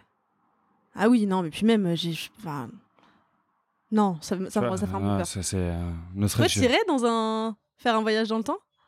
Bah, euh, ça dépend si, euh, si je peux y assister ou si je peux. euh, Enfin, si c'est juste pour y assister ou si c'est pour y vivre et y avoir un, avoir un impact, Ouh. quoi, tu vois. Ah oui. Mais bah oui, il y a pas mal de, de- de- de questions au, au sujet. Enfin, avec pour thème le voyage dans le temps dans la question. Donc j'ai déjà. Mais ouais, il y a des époques que j'aurais aimé vivre, clairement. genre le le Paris de la belle époque entre deux guerres, c'est une période que je trouve mais fascinante et incroyable, quoi. Enfin, que j'ai. Quoi? Je sais pas, toutes ces, tous ces cabarets, toutes ces, ce, ce truc où tu as les premiers euh, jazzman afro-américains qui se rendent compte que euh, bah, à l'époque, euh, la, la vie était quand même nettement plus, euh, nettement meilleure pour eux en France qu'aux États-Unis. Alors, malheureusement, nous, on a décidé de se dégrader. eux, ils n'ont pas tellement décidé d'améliorer les, les choses, Oui. mais où vraiment, bah, T'as as plein de, de jazzman qui sont venus, enfin j'ai, et qui ont, euh, qui ont fait de la musique, tu vois, qui jouaient dans, dans, dans le Paris, euh, Je sais pas, je trouve que ouais, il y, y y a une énergie euh, qui se dégage de cette époque que je trouve vraiment, euh, Peut-être ça s'appelle l'espoir. vraiment fascinante en fait. Que, que, Non, et puis voir le Moulin Rouge à l'époque où, ils avaient un éléphant dans lequel tu pouvais aller boire un verre. le cabaret de l'enfer, enfin, le- en- globalement, en fait, tout ce qui est le quartier, place de Clichy, Pigalle, euh, Barbès, ça avait l'air d'être fou. Ça avait l'air d'être Oui, oui. fou en termes d'ambiance, euh, mais pour faire la teuf, quoi. Oui, c'est ce que j'allais dire. Par contre, c'est le monde de la nuit, quoi. C'est ça, c'est vraiment. euh, Il y, a- il y a un truc dans le monde de la nuit de l'époque. Mais toi, à l'heure mais- actuelle, t'es un mec du monde de la nuit? Euh, ah, j'aime bien faire la fête, ouais. Ouais. J'aime bien, j'aime bien sortir et j'aime bien. euh, Ouais, donc c'est pour ça. j'ai- j'ai- J'aime bien passer de longues heures en terrasse, euh, donc donc ouais ouais, je pense que ça, je m'y Ouais. serais, m'y serais bien senti quoi. Ouais, probablement, ouais. T'aurais été le Great Gatsby. euh, Ouais, ouais, ouais. On a, on a un peu plus, euh, un peu plus schlag, mais, euh, mais ouais, un truc dans, un truc dans le genre, je trouve que c'est cool. Après, tu vois, changer un événement historique aussi décisif. hein, je sais pas, le premier truc auquel je pense, bah, c'est d'aller tuer Hitler avant qu'il accède au pouvoir. Est-ce que c'est une bonne idée? Je, ah bah, on peut pas savoir. bah, c'est ça, quoi. C'est. Bah, a priori, ça a l'air bien, hein. Franchement. Oui, oui, en soi. euh, Mais effectivement, c'est pas. C'est pas que Hitler le fascisme. C'est ça, et- et. euh, Dans tous les cas, ça finit toujours par en- éclore en- à quelque en- part. empêcher quoi. la France de coloniser, euh, enfin la France et l'Europe, enfin et l'Europe en règle générale, hein, de coloniser ouais. tout le reste du monde. Euh, bah oui, si, ça semble être une bonne idée, mais en soi, est-ce que c'est pas, euh, est-ce que ouais, est-ce que ça, modifierait notre société en bon Oui, ou, non, euh, je pense que c'est un peu naïf et un peu idéaliste euh, C'est ça. de se dire ça. Mais c'est normal de penser ça quand t'as 8-9 ans, par exemple. Ça, c'est sûr. Mais adulte, tu sais que Et continuer c'est pas se... si simple. Je pense que c'est. Et après, je pense que c'est toujours une bonne chose de se poser la question en étant adulte. Par contre, je pense qu'avoir la avoir une réponse directe, oui, ça aurait été une bonne chose. Mm. Non. Bah, on n'en sait rien en fait. C'est. Voilà, on ne peut le dire, on ne sait pas. On ne sait pas exactement. On ne sait pas. C'est pas grave. On ne sait pas et il y a des chances qu'on ne le sache jamais vu que le voyage. Et quel plaisir de ne pas savoir, du coup. Parce qu'en plus de ça, est-ce que ça te téléporte dans une autre réalité? Enfin, c'est c'est compliqué. Il y a des plans d'existence. Vrai. Euh, si tu pouvais avoir le rôle principal d'un biopic, qui aimerais-tu incarner? Oh, waouh, waouh, waouh, waouh. Bah, je sais pas. C'est pas très réaliste, mais euh, peut-être une Madame de Maintenon, qui était du coup la oui, Une Madame de maintenant Madame de Maintenon, Ah, de maintenant. O-N à la fin. D'accord. Et elle, c'était une des maîtresses de Louis XIV et qui a fini Ok. par devenir euh, sa femme en secret. Ok. Et qui- alors, elle a fait plein de trucs horribles. hein. Elle a vraiment fait des choses pas bien du tout. Et notamment, c'est elle qui a influencé Louis XIV sur la révocation de l'édit de Nantes, qui est un peu une catastrophe Ah oui. euh, historique. Mais sur plein d'autres choses, euh, je trouve que son parcours, il est assez fou parce qu'elle est vraiment née d'une noblesse désargentée. Son Mhm. père était en prison, elle a fait la manche toute sa vie, enfin toute sa jeunesse. Elle a eu des petits coups de peau par-ci par-là. Qui... Mais elle a vraiment eu une vie complètement dingue où elle Mhm. s'est hissée jusqu'à devenir la, la, la femme du roi, quoi. Enfin, Ouais. vraiment, sans devenir reine, sans jamais devenir reine. Et, euh, et par ailleurs, elle a un côté très très pieux. Alors moi, je suis pas croyante, Mhm. Mais ça me fascine toujours les gens Ouais. qui sont guidés par une espèce de foi comme ça, enfin par une foi d'ailleurs. Et je, je trouve ça toujours hyper intéressant ces constructions mentales là de de, de comment en, en croyant à quelque chose de plus grand que toi, ça te fait tenir dans des moments euh, horribles. Et, et voilà, je trouve ça intéressant, même si ça me ça me concerne pas forcément, je trouve ça trop intéressant. J'aimerais bien explorer ça. Mais par contre, voilà, moi je suis pas actrice. hein. Oui. Donc, dans bah, tous les cas, euh, je la question. pas- ouais. euh, Ouais, pour l'instant, j'ai jamais eu d'acteur dans le podcast et cette question est déjà sortie. Donc, euh, Oui. Mais j'imagine que si j'étais actrice, c'est des choses que j'aimerais explorer. ok, Madame de maintenant. euh, Ouais. pour les robes aussi. Bah oui, c'est clair, évidemment. Enfin, évidemment. C'est un peu, un peu superficiel, mais oui. Puis avoir ouais, l'occasion de tourner dans Versailles et tout, c'est vrai a- Mmh. Ça serait fou. Il y a moyen de. Ah oui, de... Celle-ci est trop sortie récemment. d'accord. Euh, ah À quoi ressemblerait le pire monstre à tes yeux? Oh putain. Oh là là, je sens qu'il va falloir tomber dans un truc un peu métaphorique. Je peux pas juste dire une énorme araignée. Ouais, euh, si, si, hein, mais bon, c'est vrai que. euh, Euh, j'en sais rien. Oh. Bah, je- déjà, je sais pas pourquoi je l'imagine gigantesque physiquement. mhm. Mais s'il fallait faire un peu de la métaphore. euh, Ah, c'est compliqué là comme ça. Le pire monstre. Pff, En, en humain, en. Peu importe. Bah oui. Ah, il me faut des contraintes, moi, je peux pas inventer un truc comme ça. Euh, bah oui, écoute, euh, le, le pire monstre en humain, du coup. Le pire monstre en humain. Parce que, allez, on va dire que pour la partie fantastique, ce sera une énorme araignée, donc euh, très bien. Euh, Je sens un peu de dédain dans ta voix, mais ok. c'est parce que moi, j'adore les araignées.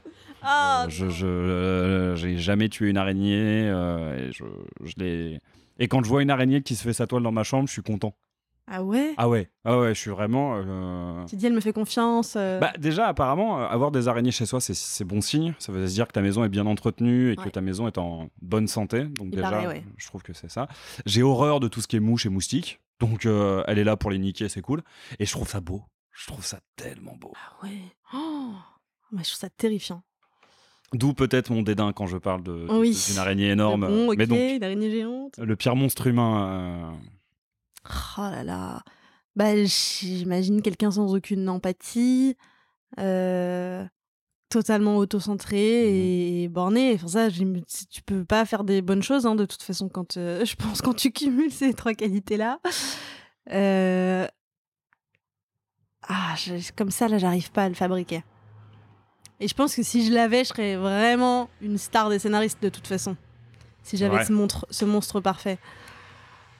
Euh, Et en fait, j'essaie de le relier peut-être à des personnages euh, Oui, bah ouais, ouais, tu des, vois, euh, que je connais déjà, mais... ouais, des gens qui ont existé, effectivement. euh.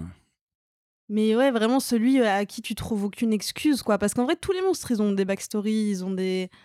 Enfin, en, en humain, quoi. À chaque fois, tu peux, tu peux trouver... euh, Ouais, après, il y a des backstories que De je trouve plus excusables que d'autres. hein, euh. Oui, oui, bien sûr, mais c'est plus ou moins bien fait. Je sais pas si t'as été très euh, branché euh, serial killer ou si Pas tu trop, es non. très branché serial killer. Moi, bon, je l'ai beaucoup été à un moment. Ouais. Tu vois, la... comment il s'appelle déjà la, la backstory de Jeffrey Dahmer, je la comprends beaucoup plus que la backstory de. Merde, comment il s'appelle ce tueur? Il a été interprété par. J'ai tous les noms qui me sortent de la tête là, c'est- une horreur. Le mec qui jouait dans High School Musical. Euh, Zac Efron? Ted Bu- Ouais, voilà, il a joué Ted Bundy. Ah, d'accord, ok, oui, Et Ted bah, la, Bundy, oui. la backstory de, de- de Jeffrey Dahmer, je la comprends beaucoup plus et je la trouve beaucoup plus. euh, Il a fait quoi, Jeffrey Dahmer? Bah, en gros, Jeffrey Dahmer, euh, il a tué, euh, il a tué de nombreux, nombreux hommes. euh, qu'il a voulu trans qui voulait transférer c'est atroce hein, ce que je vais euh, trigger warning euh, si vous voulez passer quelques secondes les, les auditeurs mais donc qui voulait transformer en esclave sexuel en faisant notamment des trépanations et en balançant de l'eau bouillante ou, euh, ou de l'acide dans le, dans le crâne de ses victimes Super. Et il en conservait des. des, des, des- Enfin, c'est un monstre, hein, euh, clairement. Mais quand tu connais euh, son background déjà, donc il, il a grandi dans une époque où l'homosexualité était beaucoup moins bien perçue. Ouais. Il venait d'un milieu assez, euh, assez bourgeois, mais assez euh, reclus de la société américaine. Tu vois, ces gens qui, vont, qui, qui, qui ont tous des grandes maisons avec des grandes étendues. Euh, enfin qui vivent vraiment une forme de, rêve américain mais qui en fin de compte tourne très mal. Et surtout en fait il a il a été complètement abandonné par ses parents pendant son adolescence qui euh, où ses parents étaient euh, pris dans un dans un divorce atroce et où finalement leur gamin leur servait à s'envoyer des coups l'un l'autre. Et donc en fait personne n'était là pour euh, Mhm. écouter ou pour voir à quel point il allait mal et l'a complètement délaissé jusqu'à ce qu'il commette son premier meurtre et que bah il soit il soit lancé sur cette pente donc je trouve que c'est une histoire qui moi me, me, me touche beaucoup plus et où je l'explique beaucoup plus oui, son oui, côté oui, monstrueux oui, c'est plus rationnel. alors que Ted Bundy, qui en plus a un côté ultra charismatique et dont on a fait un mec un peu charismatique, en soi, je crois qu'il s'est fait plaquer par une meuf, il l'a pas, su- il l'a pas, euh, il l'a pas accepté Ah. et il a tué toutes les meufs qu'il croisait qui lui ressemblaient peu ou prou. Euh, Ah oui, je crois que c'est plutôt ça. Bon, peut-être que je. Bah, y a quand même un trouble psy, euh, c'est pas juste. Ouais, voilà. Et là, je trouve que bah, c'est nettement moins. euh, Ça, ça Oui. excuse nettement moins, quoi. Il y a un côté. Bah, c'est vrai que là, pour le coup, le biopic, il est moins intéressant. quoi. bah c'est ça quoi alors que mais il y a une très très bonne BD sur bah, sur un mec qui était au lycée avec Jeffrey Dahmer et donc qui a raconté ses années lycée avec Jeffrey Dahmer et qui Ah explique ouais. que bah, en même temps quand on voit Son background, son c'est background pas fou. mais voilà Ok, intéressant. mais Je donc, regarderai un peu ça. Le pire monstre ouais de- le jour où t'es le pire monstre euh, T'auras ta Ouais. sé- série par Anissa bah oui, Omri ça, sur, là, euh, d'accord, là oui. Euh, tu te réveilles après 100 ans de cryogénie. Quelle est la première question que tu poses? Euh... Là, spontanément, ce qui me vient, c'est euh, est-ce que ma famille aussi a été euh, cryogénisée ou Mhm. pas? Est-ce que je vais Bien retrouver ouais. quelqu'un que je connais? Euh, Oui. Est-ce que je vais retrouver quelqu'un Ouais. que je connais d'abord? Ça, c'est la première question. Après, euh, sociétalement ou politiquement, euh, peut-être, euh, ouais, où on en est. Alors, 100 ans? 100 ans, ouais. Ouais. Ah, il s'en passe des choses en 100 ans. Hein. Oui. Eh ben, est-ce qu'on a réglé cette question de multivers? Parce que ça me stresse. Et peut-être où on en est écologiquement. Quoi. Alors, c'est que c'est un petit peu. C'est un petit peu tristoun hein, comme réaction, mais je pense que ça va être mon premier truc. Quoi. On, euh, on en est où? Ouais. Est-ce qu'on peut encore euh, vivre, respirer convenablement? Euh, Est-ce qu'on a pris enfin des décisions? Est-ce que alors que je suis vraiment pas une écolo militante, Mhm. mais pour autant ça me travaille, tu vois. Ouais. Mais ça me travaille, je pense comme à peu près n'importe qui.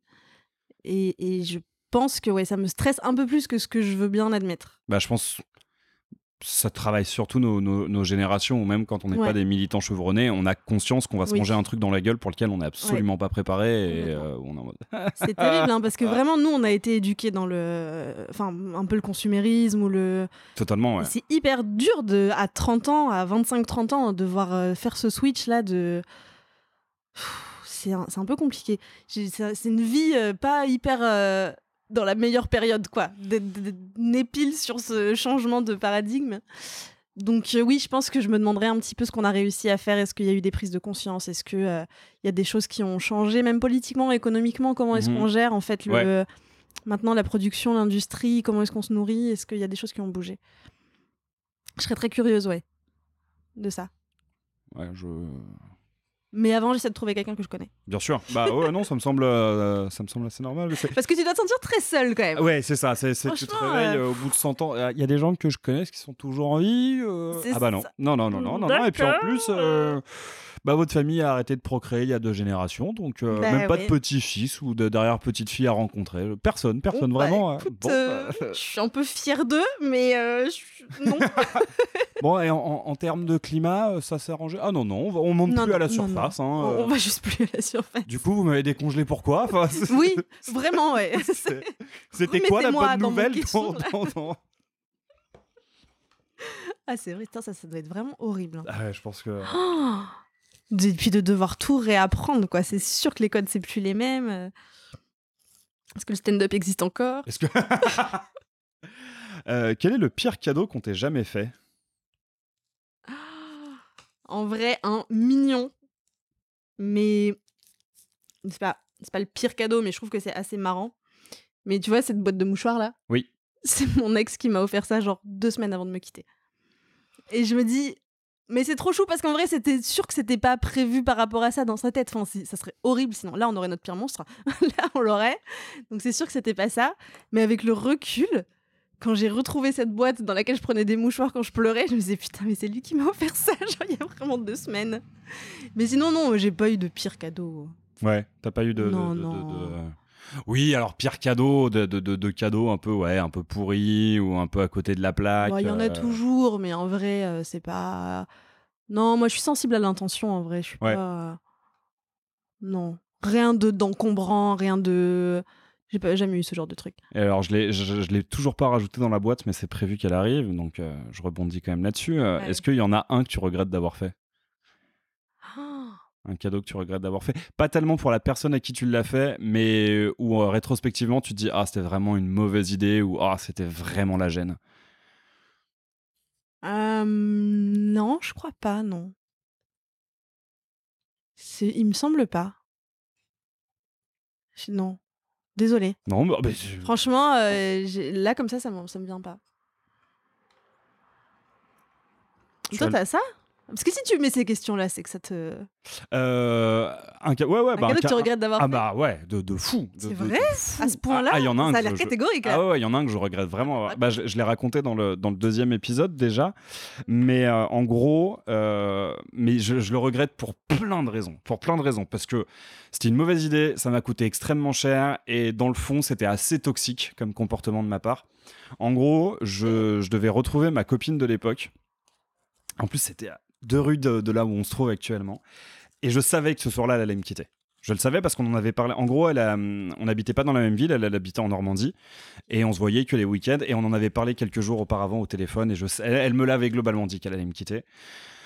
Euh, et, et vraiment, je, je savais qu'elle allait me quitter. Et je voulais mais tout faire pour, euh, Ah, pour d'accord. pas qu'elle me quitte. Et, euh, ouais, et je pense en plus de ça que c'était plus par euh, détresse à l'idée de me retrouver seul que, que par réel amour et réel attachement vis-à-vis de cette personne. Et, euh, et on devait se retrouver, et je me souviens très bien, c'était la veille de la Saint-Valentin.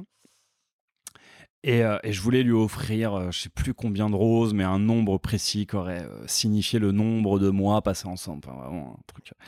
Et j'étais rentré donc dans une, euh, dans- chez, un- chez une fleuriste, euh, donc je demande un bouquet de roses. Oui, et puis euh, bon, elles sont plus chères parce que c'est le week-end de la Saint-Valentin. J'ai ouais, bon, bah, moi j'en achète pour éviter de me faire quitter. Ah, d'accord. Ok, merci madame, enfin pour le soutien, soutien, et tout. Euh, donc voilà, je, je- je- et puis en plus, ça, ça se voyait que je disais pas ça pour avoir une réduction. Je devais avoir une tête de 6 pieds de long. J'avais ma guitare parce que j'avais composé un morceau. Enfin, vraiment le truc un peu toxic boyfriend en fait. hein. Vraiment le, le, le, le- le- le- le- je- et c'est pour ça que je regrette de l'avoir fait. Je suis en mode mec.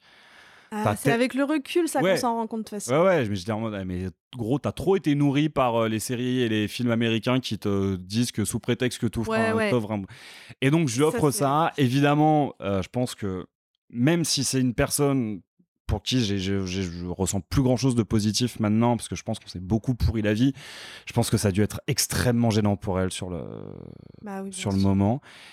Et en plus de ça, il se trouve que on prenait le métro au même endroit, mais pas dans la même direction. Mais du coup, je la vois arriver sur le quai et elle avait foutu le bouquet à la poubelle. Et, euh, et, et- je la, en vrai, ça, pour le coup, je le comprends. Ça, je la comprends, sa, sa, sa- sa réaction, parce que t'as envie de passer à autre chose, quoi. Euh, et, euh, mais voilà, et du coup, je l'ai- j'étais en mode, Ouah. Donc, ouais, je regrette vraiment d'avoir fait ce cadeau. Oui, Je oui, d'accord, ok.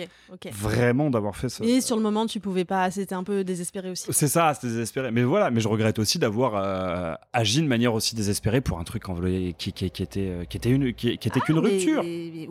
mais- ça peut être euh, ultra douloureux. Hein. Bien sûr, bien sûr. Sur le moment, je- c'est horrible. Ça, c'est vraiment le genre de truc où tu t'en rends compte qu'avec le temps, quoi.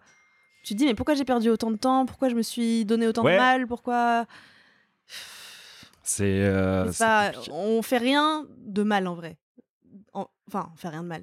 Il n'y a pas Oui. de mauvaise décision en fait. Il y a que des ça, décisions que tu as prises dans un contexte. Et en soi, je, je l'ai juste mis dans une situation de grosse gêne pendant un Oui, moment. Quoi. Bon, Et tu as appris. j'ai appris. Et je sais que je ne le referai plus. Bah, ça, voilà. euh, Oui, j'espère par contre. Non, là, on dit une fois honte à toi, deux fois honte à moi. Voilà, c'est ça. Euh, tu peux faire voter n'importe quelle loi. Laquelle choisirais-tu? Oh là. Hmm. Ah, j'en sais rien. Est-ce que. Ouais, j'en sais T'as rien. forcément des idées. Oh putain, ouais, j'en sais rien. Bah ouais, mais alors une en particulier. euh, Tu peux en donner trois ou quatre. hein. Bah. euh, Encore une fois, sans être écolo militante, euh, ça me rassurerait quand même qu'on fasse des trucs, tu vois, un peu concrets. ça me rassurerait un peu. Tu n'es pas content de notre gouvernement à ce niveau-là? Mais euh, j'y connais pas grand chose, grand chose. Je pourrais pas donner des éléments précis, Ouais. mais je vois bien que bon, euh, on a un petit souci de rien que de, de consommation ou de, de, de production qui, a un petit, qui, me, qui, me- qui me gêne un peu. Et peut-être une loi qui, ouais, alors vraiment complètement idéaliste. hein. Ouais. Ah, encore une fois, là, c'est la Anissa de 9 ans qui parle.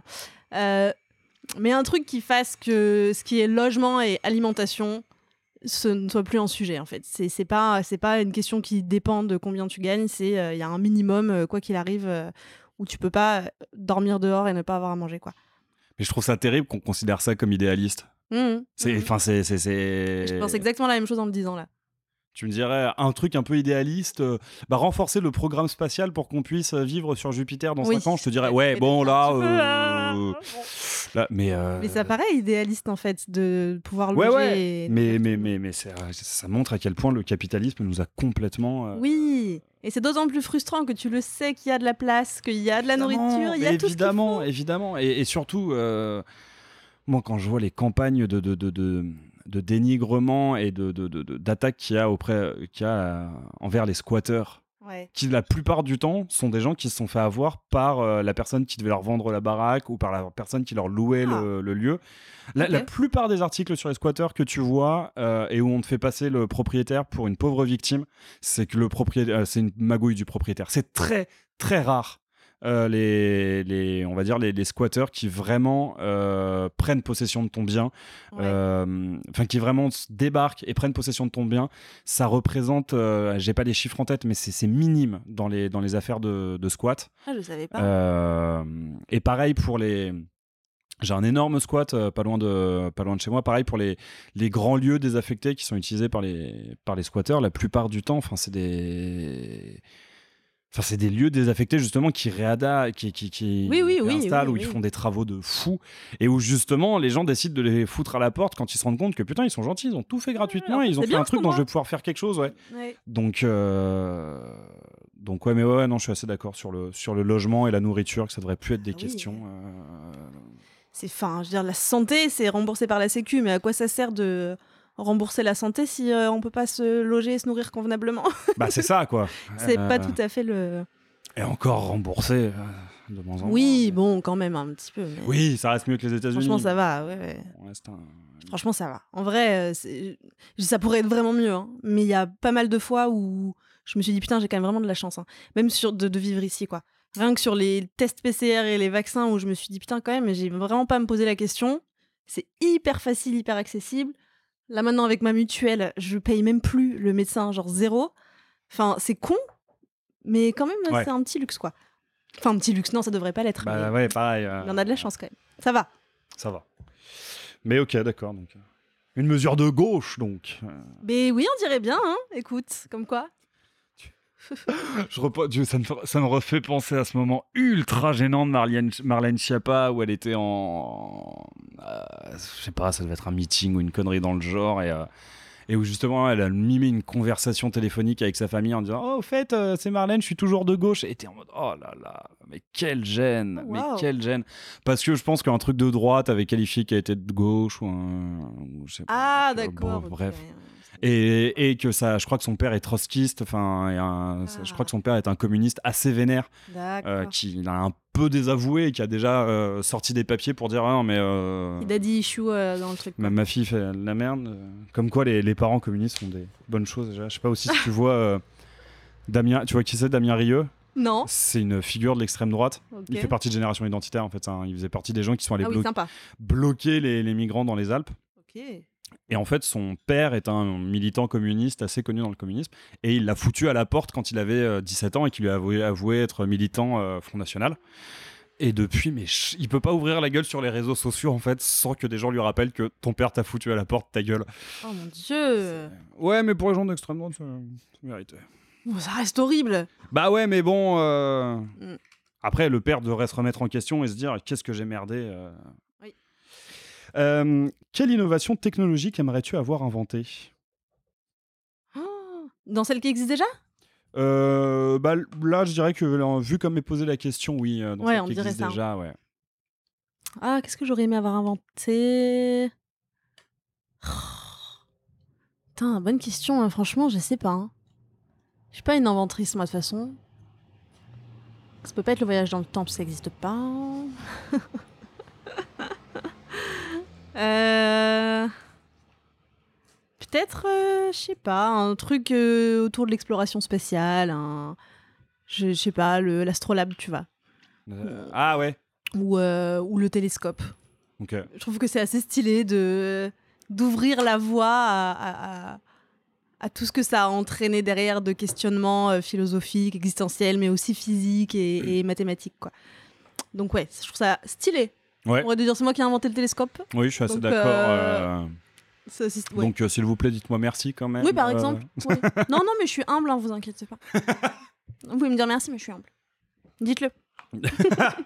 Dites-le que je suis j'ai- Et qu'en plus de ça, j'ai inventé le télescope. Dites-le. Tu voudrais que les gens se retournent dans la rue en disant Regardez, c'est Anissa Omri, elle a inventé le télescope. Et en plus, elle est tellement humble. en plus, elle fait du stand-up. En plus, elle fait du stand-up. Euh, ah, alors tu as, as peut-être déjà répondu à cette question, mais si tu pouvais exercer n'importe quel métier, lequel choisirais-tu? Bah, en dehors de ce que je fais déjà, parce que j'aime bien ce que je fais, Mais ouais, ça serait le Constructrice de BTP. télescope. Ouais. Ouais, par exemple, je sais pas. Ouais, non, ça serait dans le BTP, ouais, Ok, tout simplement. Ou, ou, je- ou la restauration d'œuvres d'art, des trucs. Ouais, Mais, du coup, les, les études d'architecture, c'est un truc qui t'a tenté ou t'étais. Non, pas du tout. Les... Ok, les maths, c'était vraiment pas. C'est ton truc. Mais pour, euh, si, si, j'adorais les maths en plus. Mais à partir de la seconde, euh, mes notes en maths se sont effondrées. En fait, ça a été très clair euh, assez rapidement que même si j'aimais bien, j'avais pas le niveau, quoi. Donc euh, voilà. Mais j'ai pas été hyper bien orientée. Moi, je considère euh, que j'ai pas été bien orientée. C'est, c'est, je savais pas du tout tout ce qui existait. Enfin, Ouais. C'était à peu près carré depuis le début que j'allais partir en droit, euh, que c'était comme ça et pas autrement. Et... Donc voilà, je connaissais pas. Genre, j'aurais bien aimé faire des prépas, des trucs comme ça, Ouais. euh, euh, étudier l'histoire ou ou faire Sciences Po ou des trucs comme ça. Ok. Mais non, j'étais pas au courant, même je, non. J'étais pas assez curieuse, je pense, à 17 ans. Ouais, puis bon, si tu comptes sur les. Les conseillers d'orientation, euh, le petit test de l'ONICEP, euh, bon, C'est un peu. euh, c'est pas dingo quoi. Non. Non. En général, c'est pas eux qui en connaissent le plus sur ce que tu peux faire Non, après. Bizarrement, non. Je crois que j'ai jamais entendu d'histoire de conseil d'orientation. Qu'il soit, euh, soit- efficace. Ouais, qui, Non, qui- qui soit vraiment. euh, Vraiment un bon. Jamais euh, entendu ça, non. Nous, c'est à peine s'ils arrivaient à nous expliquer comment se servir de. Euh, APB, là. Ah oui, oui, c'est ça. Bah, ils te montrent juste comment- faire ton CV ou des trucs euh, du genre. C'est un peu ça, ouais. euh. Et apparemment, euh, envoyer une recette de gâteau, ça suffit maintenant. Donc, Ah bon? Ah, T'as pas vu cette histoire là? Comment ça s'appelle la Postbac Ou- La plateforme là pour. Info- Non, pas du tout. Parcoursup, non? Ouais, Parcoursup, exactement. Et t'as une meuf qui a postulé pour une école et sur sa lettre de motivation, au lieu de mettre une vraie lettre de motivation, elle a mis une recette de gâteau et elle a été acceptée.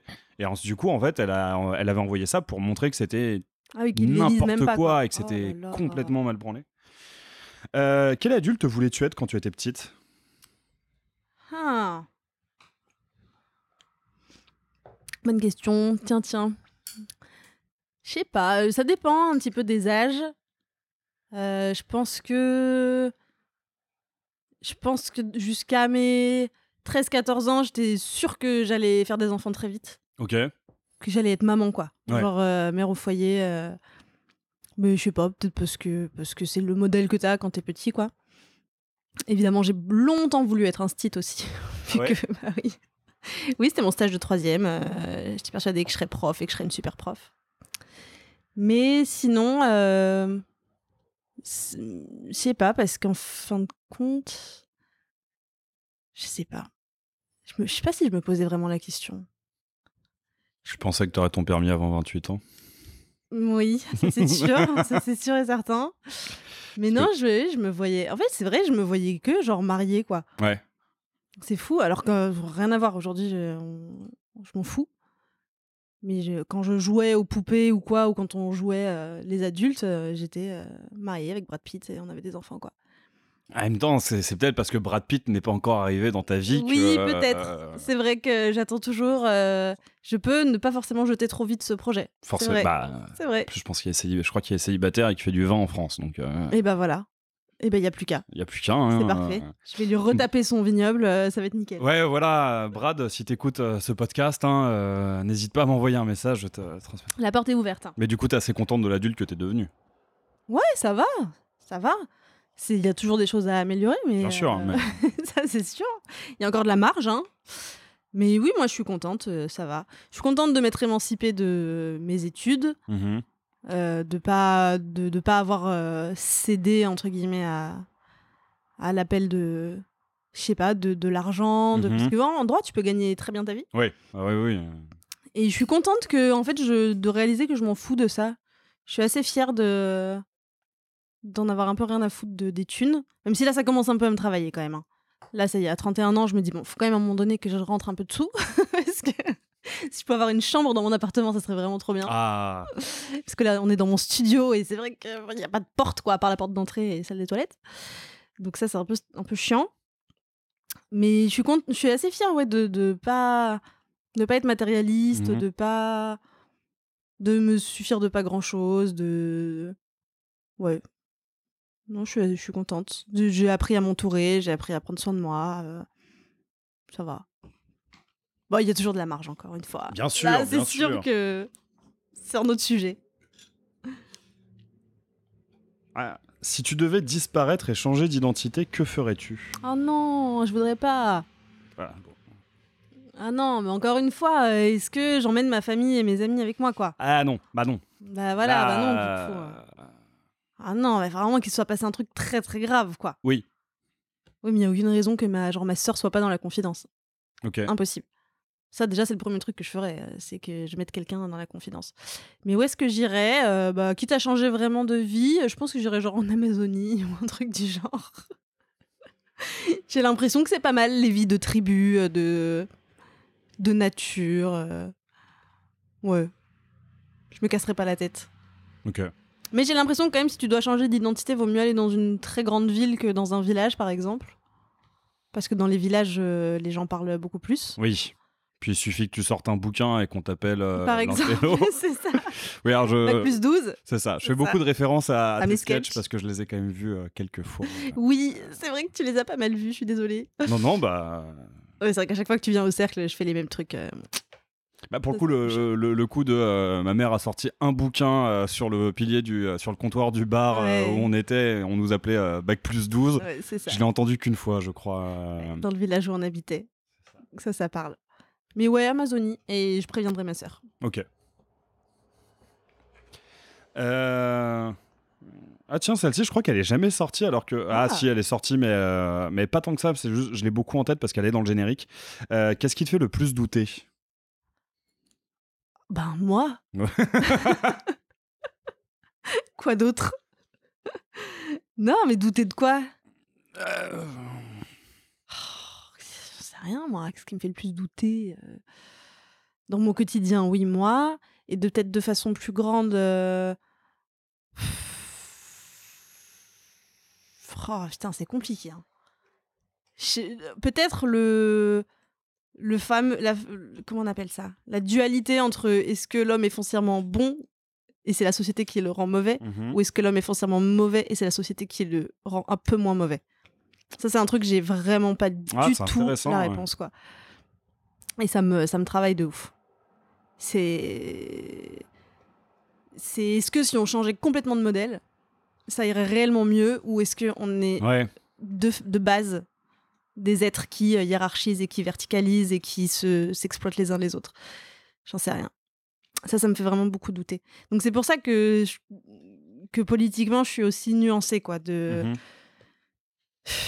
de est-ce que ça changerait vraiment les choses et j'en sais rien. Ça me fait beaucoup douter. Donc euh, faire beaucoup d'efforts pour euh, être quelqu'un de bien, des fois tu te dis mais en fait ça sert à quoi quand, euh, quand on a les dirigeants mondiaux qu'on a? C'est un peu déprimant. Ouais, je. Parce que même si on mettait que mes copains par exemple qui sont super à la tête de toutes les grandes puissances mondiales, est-ce que ça partirait pas en couille d'une façon ou d'une autre de toute façon? Même je... s'ils sont super. Je sais pas, ouais. euh. Oh non, je pense que ça irait mieux quand même. hein. Moi je pense pas. Mais... Moi, je pense que si j'étais au pouvoir, ça irait mieux en tout cas. Oh, au pouvoir du monde Dirigeant du monde libre comme dans les Sims Exactement. Non, mais. euh, Non, justement, l'objectif, c'est pas d'être au pouvoir, c'est de... Ah, c'est ça en fait. c'est ouais. de mener le peuple à le reprendre et ensuite disparaître. Ouais, c'est vrai. Faut être Batman, quoi. Euh, Ou De Gaulle. Non, je... Bah non, il a pas disparu, il a pris le pouvoir, donc. euh, non, je rigole, je rigole. euh, Alors, c'est déjà l'avant-dernière question. D'accord. Quelle est la chose la plus folle que tu aies faite par amour? Eh ben, j'ai pas fait grand chose de fou par amour, moi. Franchement, euh, ou de moins en moins en tout cas.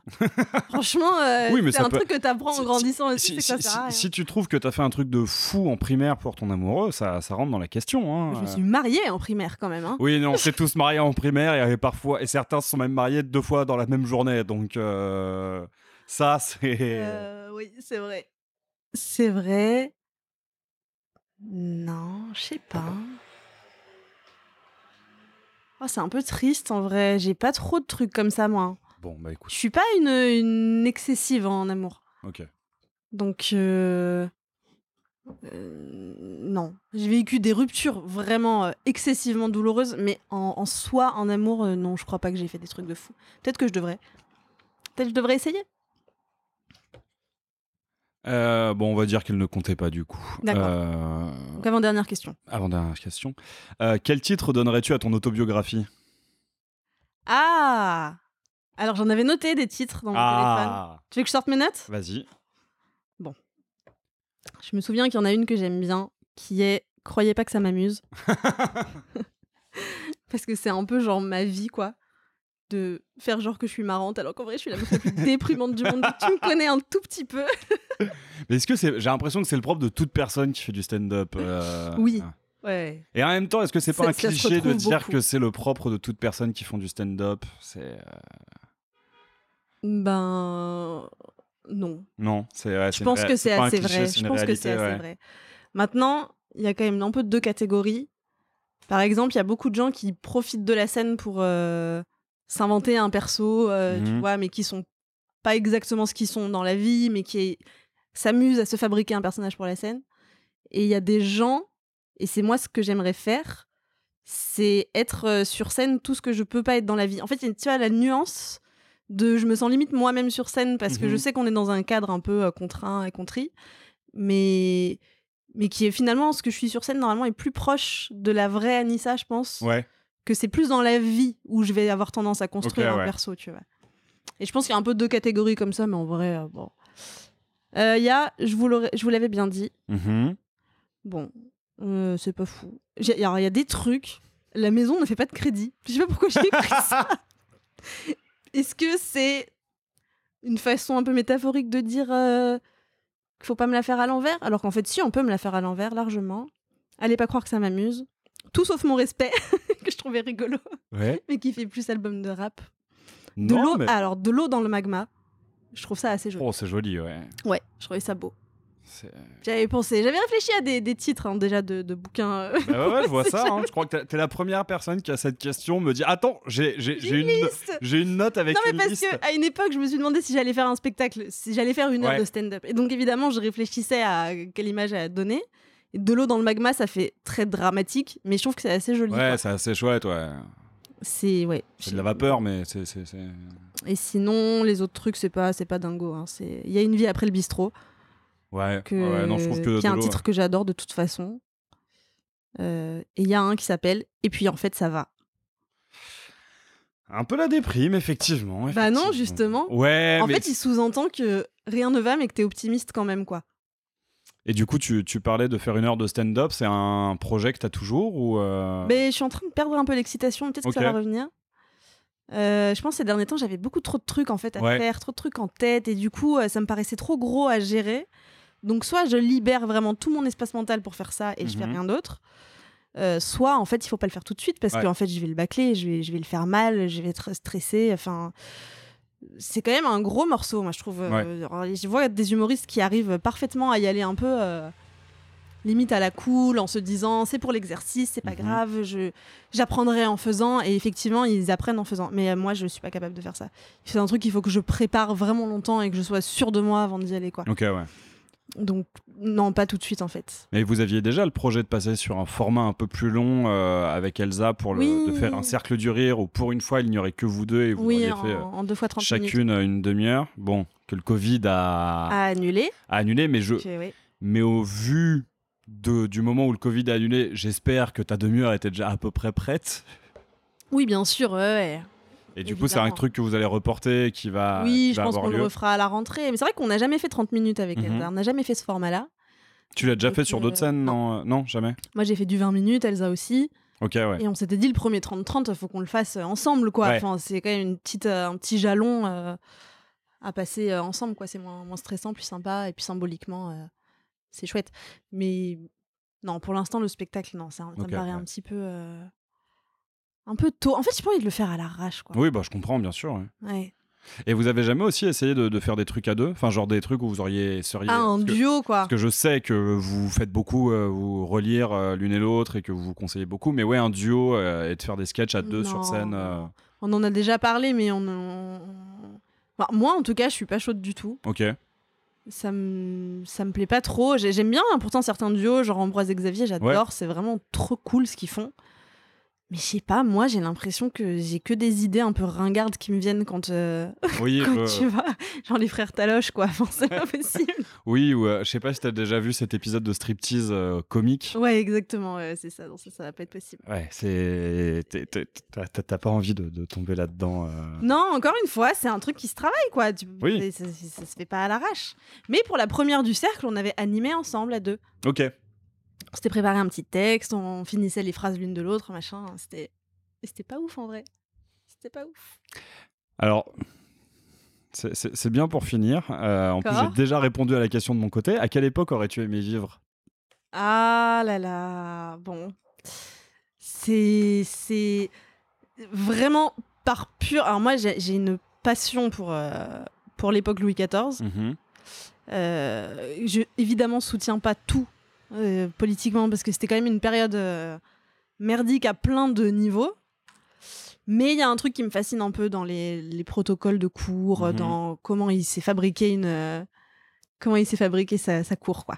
Donc j'aurais bien aimé vivre- à cette époque-là, mais du coup Mais à la cour. à la cour Oui. parce que évidemment que sinon c'est pourri. Franchement, on va pas, on va pas se mentir. Moi, paysanne, bof.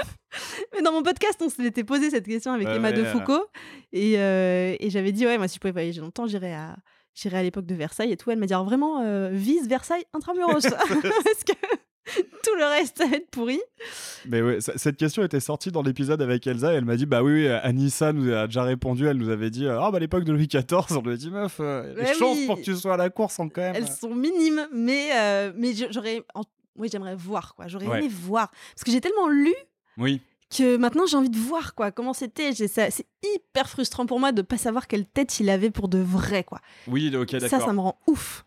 Ça, ça, ah, tu vois, là, rien que d'en parler, ça me frustre, j'aime pas. J'ai- j'ai- J'aime pas me dire qu'on a aucune euh, vraie euh, image. Alors, évidemment, l'imaginaire, c'est génial, tu voyages et puis tu. hein. Mais au bout d'un moment, t'as envie de. de Dans- voir, tu de, voir euh, Donc, pour de. J'avais même essayé d'apprendre à une époque à faire des rêves lucides Mhm. pour m'emmener dans cette époque et, tu vois, donner une nouvelle dimension à, à mon imaginaire, quoi, sur cette époque-là. Ah, et du coup, je comprends pourquoi le multiverse te. Ouais, m'intéresse un petit peu. Mais, mais, mais non, évidemment que sur sinon, sur plein d'autres aspects, j'aurais pas pu. euh, Je, je supporterais pas. Je pense qu'avec Louis XIV, on se prendrait pas mal la tête quand même. hein. Mais j'aurais Oui, mille questions à lui poser. oui, oui, bah, oui, oui, et puis il te Ouais. laisserait certainement lui prendre la tête. hein, Non, mais ça, euh, c'est dans, un... dans le meilleur des mondes, euh, évidemment. Mais c'est sûr que tout ce qui. Politiquement, il a fait plein de choses qu'il aurait pas dû faire. eh bah, Mais ça, je lui dirais. Ouais. Ça, t'as déconné, Loulou, là. Là, t'as déconné. Je pense que t'aurais 15 pélos qui, avant même que Louis XIV ne dise quoi que ce soit, te sauteraient dessus et te Ouais. au geôle pour euh, la. Probablement. Je suis pas sûr qu'en termes de protocole, dire t'as déconné loulou, euh, ça, ça passe euh, très, très bien. Mais qui sait, ça se trouve, j'aurais renversé le game et euh, donné un petit, un peu d'ambiance à Versailles aussi, tu vois. Il n'y aurait même pas eu besoin de révolution, quoi. Peut-être, Oh peut-être que je pourrais éviter la révolution et qu'on serait encore en monarchie. Bon, à voir. Ouais, si- mauvais, mauvais bail, très très mauvais bail. On sait pas. On sait pas. Ouais, mais j'aime bien, j'ai- j'ai- j'aime bien l'idée que, que que la France ait instauré la, la, la- la guillotine. D'accord. J'ai- J'aime bien. Des fois, il y a des manifestations aux États-Unis, genre euh, pendant BLM, enfin pendant Black Lives Matter, ou même récemment, il y a des gens qui ont installé une, une fausse guillotine euh, devant euh, la maison de Jeff Bezos, ce genre de choses. Ah. Et euh, t'as toujours des gens pour commenter euh, French culture at its finest. Et j'aime beaucoup cette idée du français qui, euh, qui qui, ouais, qui installe des guillotines pour les puissants. Je, suis- je suis assez attaché à, ce- Ouais, à cette image. Donc, euh, donc s'il te plaît, n'empêche pas la révolution si tu as l'occasion un jour d'aller rencontrer Bon. Louis XIV. Bah écoute, merci beaucoup euh, pour ton temps. Mais et merci. C'est maintenant à toi, si tu le souhaites. Tu peux euh, piocher trois questions et poser. Pour toi, Bah oui. Voilà. ça marche. Alors, Jacques. Ah, intéressant. Trouves-tu que le physique soit révélateur des personnalités? Alors j'ai, ouais, euh, on en a déjà parlé dans, je sais plus quel épisode, je crois que c'est l'épisode avec Elliot. Oui, Oui. moi c'est un oui catégorique. Euh, et je, en fait, je trouve que euh, que l'intelligence et que euh, ouais, que en fait que le, je crois, je suis très sensible à l'aura des gens et je trouve que l'intelligence c'est vraiment un truc qui se répercute sur le sur le physique des gens. Et c'est Mhm. pour ça que j'ai tendance à dire que je trouve euh, tous mes amis beaux. euh, c'est que pour, pour moi, le, ouais, le physique est vraiment est très révélateur. Et ça m'est déjà arrivé de me planter. Hein, de- oui, c'est ce que j'allais dire. T'as jamais été surpris par. Si, un- évidemment que j'ai été surpris. Après, je crois que j'ai plus souvent été surpris en mal qu'en bien. Euh, Ah. ça m'a ça m'est plus souvent arrivé de me dire ah ça ça a l'air d'être une super personne et tout et en fait pas du tout que de me dire oh là là la personne a l'air inintéressante ou euh, ou ça a l'air d'être une mauvaise personne et en fin de compte c'était tout l'inverse ça Ah a ouais. pu m'arriver mais euh, mais l'inverse s'est beaucoup plus passé et assez et après en général ouais non je, je trouve que euh, que, que je me fie plutôt bien euh, que ma façon de me fier au physique des gens est plutôt euh, Fiable. plutôt fiable ouais ouais ouais donc ouais c'est ultra révélateur pour moi D'accord. Ok, tu veux que je passe à la question d'après? Bah non, toi, t'as un, si t'as si t'as un avis qui est différent et que t'as quelque chose à dire. Oui, non, tu- moi, dans mon bien cas, euh, je me trompe tout le temps. Donc, Ok. euh, voilà. si tu veux, euh, tous les gens où je croyais qu'on allait être trop copains, ça n'a pas du tout marché. Et tous, les, tous mes meilleurs amis d'aujourd'hui sont des gens que je détestais foncièrement à la base. Ah ouais? Je me suis dit, ah, elle, on ne va pas s'entendre du tout. Genre Elsa, la première fois que tu l'as rencontrée, tu t'es Euh, dit, euh, elle, ça va pas le faire du tout? J'étais un peu, euh, ouais, j'étais, Ah ouais? ouais, oui. un peu euh, méfiante. bon, pff, pff, pff, des histoires de, de cohésion de groupe, tu vois, où elle, elle était déjà très intégrée dans le groupe où, où moi je suis arrivée. Et, et quand j'ai rencontré ces gens-là, elle, elle était en voyage ou je sais plus. Enfin, ça faisait un moment que. que- Enfin bref, j'ai eu le temps pendant 2-3 semaines de m'intégrer dans ce groupe, euh, d'être une meuf cool et tout, et de savoir qu'il y avait une autre meuf qui arrivait dans la meute. Mhm. j'ai de fait j'ai été en mode méfiance quoi. Je me suis dit ah là là c'est qui cette meuf? Je l'ai vu arriver je me suis dit ok la meuf est canon j'aime pas ça. Elle est drôle j'aime pas ça non plus c'est ma compétition. Et donc du coup j'avais un peu peur de d'être face à une une fille un peu comme au collège quoi tu vois qui va qui qui qui te met pas à l'aise en tant que meuf quoi Alors qu'en fait, c'était pas le cas. Est-ce que c'est pas un peu lié à euh, quelque chose dont j'ai beaucoup entendu parler, notamment sur des comptes féministes et tout, euh, à cette euh, compétition qui est instaurée entre les femmes euh, si si sûrement pour justement éviter une sororité euh, trop dangereuse pour le patriarcat? Peut-être. Est-ce que c'est instinctif ou est-ce que c'est un truc de société? Franchement j'en sais rien du bah tout. pareil, on en revient. un mélange des deux. On en revient à ton doute de est-ce que l'être humain est une Ouais, mauvaise personne à cause du, ah totalement du contexte Totalement. Mais encore, j'ai une autre copine que j'avais rencontrée euh, aux États-Unis. Mais alors elle, vraiment, genre pendant trois mois, je la détestais. Quoi. Ah ouais? Ah mais vraiment, je, je, je- je la trouvais arrogante. euh, pareil, trop canon et ça Mhm. m'énervait. J'aime- J'aimais pas ça. Et en fait, ça fait, ça fait, ouais, plus de ans, putain, plus de dix ans maintenant qu'on est potes, quoi. Et que c'est une meuf que j'adore. Et à chaque fois, c'est quoi le déclic? Et ben, euh, je pense que c'est le moment où la personne va me faire rire. Ok. C'est con, mais pour moi, le moment où. Si, si t'arrives à me faire rigoler, mais après je rigole assez facilement, mais. Alors, tout de suite, il y a une connexion intellectuelle, je trouve, qui se fait. Ouais. Et un truc de. euh, on a le droit au ridicule entre nous aussi, tu vois. Et donc, pour moi, c'est aussi une façon de se redescendre soi-même, de dire à l'autre, t'inquiète pas, je suis. Peut-être je fais peur d'une façon ou d'une autre pour euh, je sais pas pourquoi. Peut-être que tu t'es méfié de moi, mais en fait, euh, je suis quelqu'un de cool. Si on arrive à rire ensemble, en général, euh, ça va bien se passer. Ok. En général. Je te repose une, une C'est- question. bah, C'est c'est trois du coup. C'était trois. Ok. Quel pays t'as le plus marqué dans tes voyages? Ah. Euh... Et bah, euh, alors je je suis pas un énorme. euh, En fait, j'ai beaucoup voyagé, mais j'ai beaucoup voyagé parce que mes parents m'ont emmené en, en voyage. J'ai jamais voyagé, j'ai très très peu voyagé par moi-même. Euh, bah, New York, ça m'avait pas mal marqué, mine de rien. Euh, mais en vrai, si je devais choisir en fait un endroit que j'ai visité où je pourrais vivre et où ça m'a vraiment, enfin, ça m'a suffisamment marqué positivement pour que j'y vive, c'est pas très loin. hein. Ce serait soit l'Allemagne, euh, ou enfin Berlin, euh, Énorme. soit la Belgique. Oh, j'avoue, J'adore la Belgique. J'adore la Belgique, euh, j'adore Bruxelles, j'adore Bruges. euh, Ouais, et, et en fait, je trouve que c'est des, c'est vraiment des endroits avec des super ambiances où là, pour le coup, je trouve que les gens sont beaucoup plus cool. Enfin, sont vraiment super cool. euh, Oui, c'est vrai. Et euh, donc ouais, Il y a je de la pense bière. que il y a de la bière. Donc je pense que ouais, un- un- un- le- le- les pays qui m'ont le plus marqué, enfin le pays qui m'a le plus marqué, bah c'est juste à côté, mais c'est bah, la Belgique quoi. J'adore, euh, vraiment j'adore la Belgique. Je comprends. Euh, Franchement, je comprends. Mais t'as beaucoup voyagé? Ouais, bah après, euh, mais comme j'ai dit, hein, toujours avec mes, mes vieux quasiment, les seuls endroits où je suis allé seul, bah, c'est la Belgique et, euh, et L'Allemagne. la- l'Allemagne. Donc c'est peut-être euh, c'est peut-être lié aussi. Euh, je suis allé à Marrakech, ça c'était très cool, ça m'a, j'ai j'ai adoré, mais en plus. Moi, je me verrais pas y vivre aussi parce qu'il y aurait, je pense, un, une, une crainte d'être dans le néocolonialisme, enfin d'a- d'a- d'avoir Ah un- oui, une attitude et un comportement un peu néoco- néocolonialiste. Ce qu'en soi, j'ai peut-être déjà eu en, est- en allant en vacances là-bas. Euh, je suis allé à Londres, qui est une ville que j'aime pas beaucoup. Euh, Ok. Parce que je trouve ça trop grand, je- j'aime pas les Anglais. bref, d'accord, euh, non, ouais, si, l'Irlande, l'Irlande, ça m'a énormément marqué, mais parce que déjà j'étais fasciné par l'Irlande avant, donc. euh, Oui, d'accord. voilà. Euh, et pareil, l'Irlande, j'y suis allé sans mes parents. Et, euh, et sinon, je crois que ce qui m'a, euh, là où je suis le plus partagé, c'est la République tchèque, c'est Prague. Où euh, Prague, en fait, je trouve que euh, en termes de vie, en termes de lieu, c'est mortel. Ouais. Mais les gens qui habitent, mais les, je sais pas quels gens, y a les Praguais, les, Pra- les Pragois sont absolument pas euh, sympathiques, absolument Oh, pas. d'accord, ok. euh, sont, ouais, sont pas des gens très, très chaleureux et très, et très chouettes. Donc, mais c'est très beau. C'est très, très Ok. beau. Bon, bah c'est bien, ça fait envie en tout cas. Euh, Malgré mais, le fait que les gens soient pas ouais. sympas. Mais à côté de ça, en architecture et tout, c'est magnifique. Le quartier juif est incroyable. Et, Oui, il euh, ouais. t'as, des choses vraiment super belles à voir à Prague. C'est, vraiment une très très belle capitale euh, et qui a pas encore. euh, Ouais, qui, qui, qui, qui, est vraiment ouf. Et en plus, où tu as des, t'as des bâtiments du Moyen-Âge qui côtoient des bâtiments de l'époque soviétique. Et ça donne.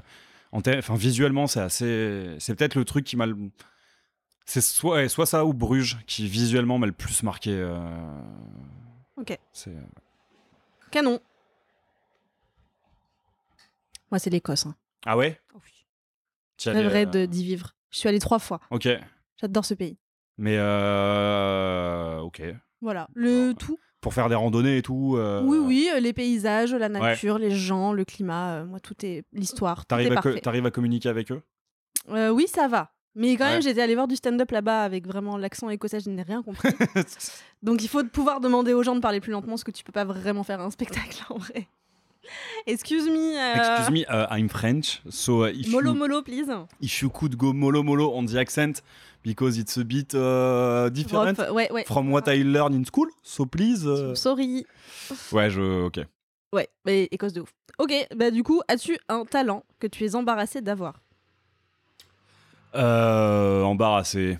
Euh, non, je crois pas avoir de talent que je suis embarrassé d'avoir. hein, euh. C'est bah, c'est pas vraiment un talent. euh, Je sais pas si c'est un talent, mais je considère que je m'en suis toujours sorti. C'est- Ouais. C'est que. euh, Et je me suis toujours démerdé à des moments où j'aurais pas dû me dé- où j'ai tendance à considérer que je n'aurais pas dû me démerder que si le sort avait été juste je n'aurais pas pu m'en Ah. sortir Euh, je vais prendre un exemple Euh, quand j'ai rendu mon mémoire en M1 euh, qui était sur en gros c'était de la en en anthropologie de la culture et c'était sur les scènes musicales Euh, je l'ai rédigé genre en 5 jours lecture comprise genre vraiment j'avais rien foutu avant euh, et vraiment, je me disais, vas-y, j'y vais et je vise le 11, peut-être le 12, mais on n'aura pas plus. Et si on a ça, c'est déjà bien. On aura notre M1 et on pourra rentrer au CELSA. Parce que j'étais en train de passer les concours pour rentrer au CELSA. Je le rends. Et je sais pas pourquoi, j'étais persuadé que euh, mon oral était le mercredi. Euh, parce que j'avais mon oral du CELSA qui était le, qui était le jeudi et j'étais persuadé que mon oral, euh, ma soutenance de mémoire, était, le, était la veille. Et le mardi matin, je reçois un appel de la, de la, de la vie étudiante, une, un truc dans le genre. Ils me disent ah oui bonjour monsieur Bouilly euh, tout va bien? Je dis bah ouais, tout va bien pourquoi tu m'emmerdes là enfin tu- Oui. je dis, oui oui, tout va bien oui parce que vous ne vous êtes pas présenté à votre soutenance et, là mais je suis en mode La je suis en panique. énorme panique je suis en oh là là mais déjà avec le travail que t'as rendu Jacques tu peux pas te permettre de, de Oh, tu peux pas tu, tu peux pas te permettre de de, de, de de, de, de- de- de louper ta soutenance je dis ah merde je suis désolé euh. et en plus la la meuf était assez cool pourtant je- on l'appréciait aucun des élèves l'appréciait, mais sur le moment, elle avait été assez cool. Elle m'avait fait remarquer le fait que j'ai dit ah putain de merde et tout. Elle dit oui pardon, qu'est-ce que vous avez dit? J'ai oui non, je suis désolé et tout. Et vraiment, je m'étais, j'avais dit ouais non mais je suis disponible quand vous voulez. euh, et elle m'avait dit euh, demain 9h. Alors demain 9h, il me faut une heure et demie pour arriver à la fac. Oui oui demain 9h, ça ira très bien. Elle me rappelle, elle me dit bon bah finalement ce sera euh, midi parce que c'est trop tôt pour les examens. Alors, je dis oui pas de problème, je serai là à midi, il y a aucun problème. Et vraiment, je suis en flip. Je m'attends à me faire mais Bah oui. défoncé au moment où je rentre dans la, dans la, dans la pièce et qu'ils me disent non mais euh, déjà vous vous pointez pas et en plus vous avez vu la première phrase que me dit l'examinateur, c'est oui, on comprenait pas un travail d'une telle qualité que vous, Oh, ne veniez putain. pas le sou- euh, que vous ne veniez pas le soutenir. Je mode, ok. Je crois que Euh, vous vous êtes trompé. Je fais ma soutenance et en plus le mec me dit oui. En plus moi ça, en gros je l'avais fait autour des groupes qui, s- qui, qui s'étaient créés ou qui avaient été signés en label suite à l'émergence de mon groupe préféré. Et euh, le mec m'a dit en plus ça m'a permis de découvrir ce groupe là, The Devil's Blood, et je trouvais ça vachement bien et tout. J'étais en mode vas-y moi je t'ai permis de faire, de faire découvrir mon groupe préféré, tu me mets 11, je suis content. Ouais. Et euh, bah, ils me font sortir pour euh, délibérer entre eux. Ils ressortent, ils me filent la feuille 17. Oh. Et, et ça m'est arrivé plein de fois, en fait, ce genre, de, ce genre d'événement où je considère que j'aurais pas dû m'en sortir. Et donc, je sais pas si c'est un talent ou si j'ai de la chance, mais, euh, mais ouais. Bah, là, c'est pas que de la chance. Il y a un travail écrit et une soutenance. Il y a bah, de- euh, bah ouais, il y a peut-être de, il y a peut-être de ça. Ou pareil, euh, j'ai fait euh, deux fois, euh, j'ai passé deux fois l'écrit du Salsa, parce que la première année j'ai pas eu l'oral. Et les deux fois, j'avais pas préparé grand chose et j'y étais allé en mode, mais vraiment au talent. Et je foutais des références. Genre le premier, c'était sur la confiance. Euh, en quoi la confiance va être, euh, va être un enjeu pour la communication de demain? J'avais réussi à caser des vidéos de Vlad comme euh, référent, euh, comme euh, De Vlad de, de Vald Vald, de Vald. C'est mon ancien coloc qui s'appelait, euh, Mm. qui s'appelle Vlad. De Vald, enfin j'avais parlé de théorie du complot et tout. Vraiment, je m'étais basé sur ce que je regardais à l'époque sur Internet. Pareil, je l'avais passé. Enfin. Le- la deuxième année, j'avais parlé que des émissions sur lesquelles je bossais à Radio Campus Paris. Pareil, je l'avais, euh, je l'avais passé. Donc voilà, je considère que bah, ça, c'est peut-être un talent que je suis un peu embarrassé d'avoir. C'est que je, je- je m'en sors T'as toujours. des coups de chance. Ouais, Bah, que je m- tu im- identifies comme des coups de chance. Ouais, je m'en sors, je m'en sors toujours et, et il m'est jamais rien arrivé. Enfin, il m'est jamais rien arrivé de grave où j'aurais pu le prévoir avant en fait. De, de- Ouais. Ou de par mon inaction, il arrivé un truc de grave. Chaque fois, je me, je m'y mets au bon moment et, et je m'y mets au dernier moment et je suis un peu embarrassé du coup d'avoir ce, Ouais. d'avoir ce talent. ouais. Ah, c'est intéressant. Ok. Et toi, un- est-ce qu'il y a un talent que Euh, un talent que je serais embarrassée d'avoir? Je sais pas. Euh, Non. non La fin là, comme ça, non. Spontanément, il n'y a rien qui me vient. Euh... Non. Franchement, non. Ça se finit sur un non. Ça se finit sur un nom. Bah écoute, pas totalement, parce que comme je te l'ai dit et comme les auditeurs et auditrices le savent, il y a une dernière, La dernière question. question. Qui est-ce que tu pourrais me dire deux personnes que tu aimerais entendre dans Aléatoire Donc une avec qui Oui. tu peux me mettre en relation et une plus inaccessible. Eh ben, en relation, euh, peut-être euh, l'animatrice de Une bonne fois pour toutes Pizza Margot Pizza Margot, bah écoute. de son nom Instagram, mais de son vrai prénom Lisa Margot, ma sœur, qui est formidable, qui est très drôle, qui est très intelligente, qui, est...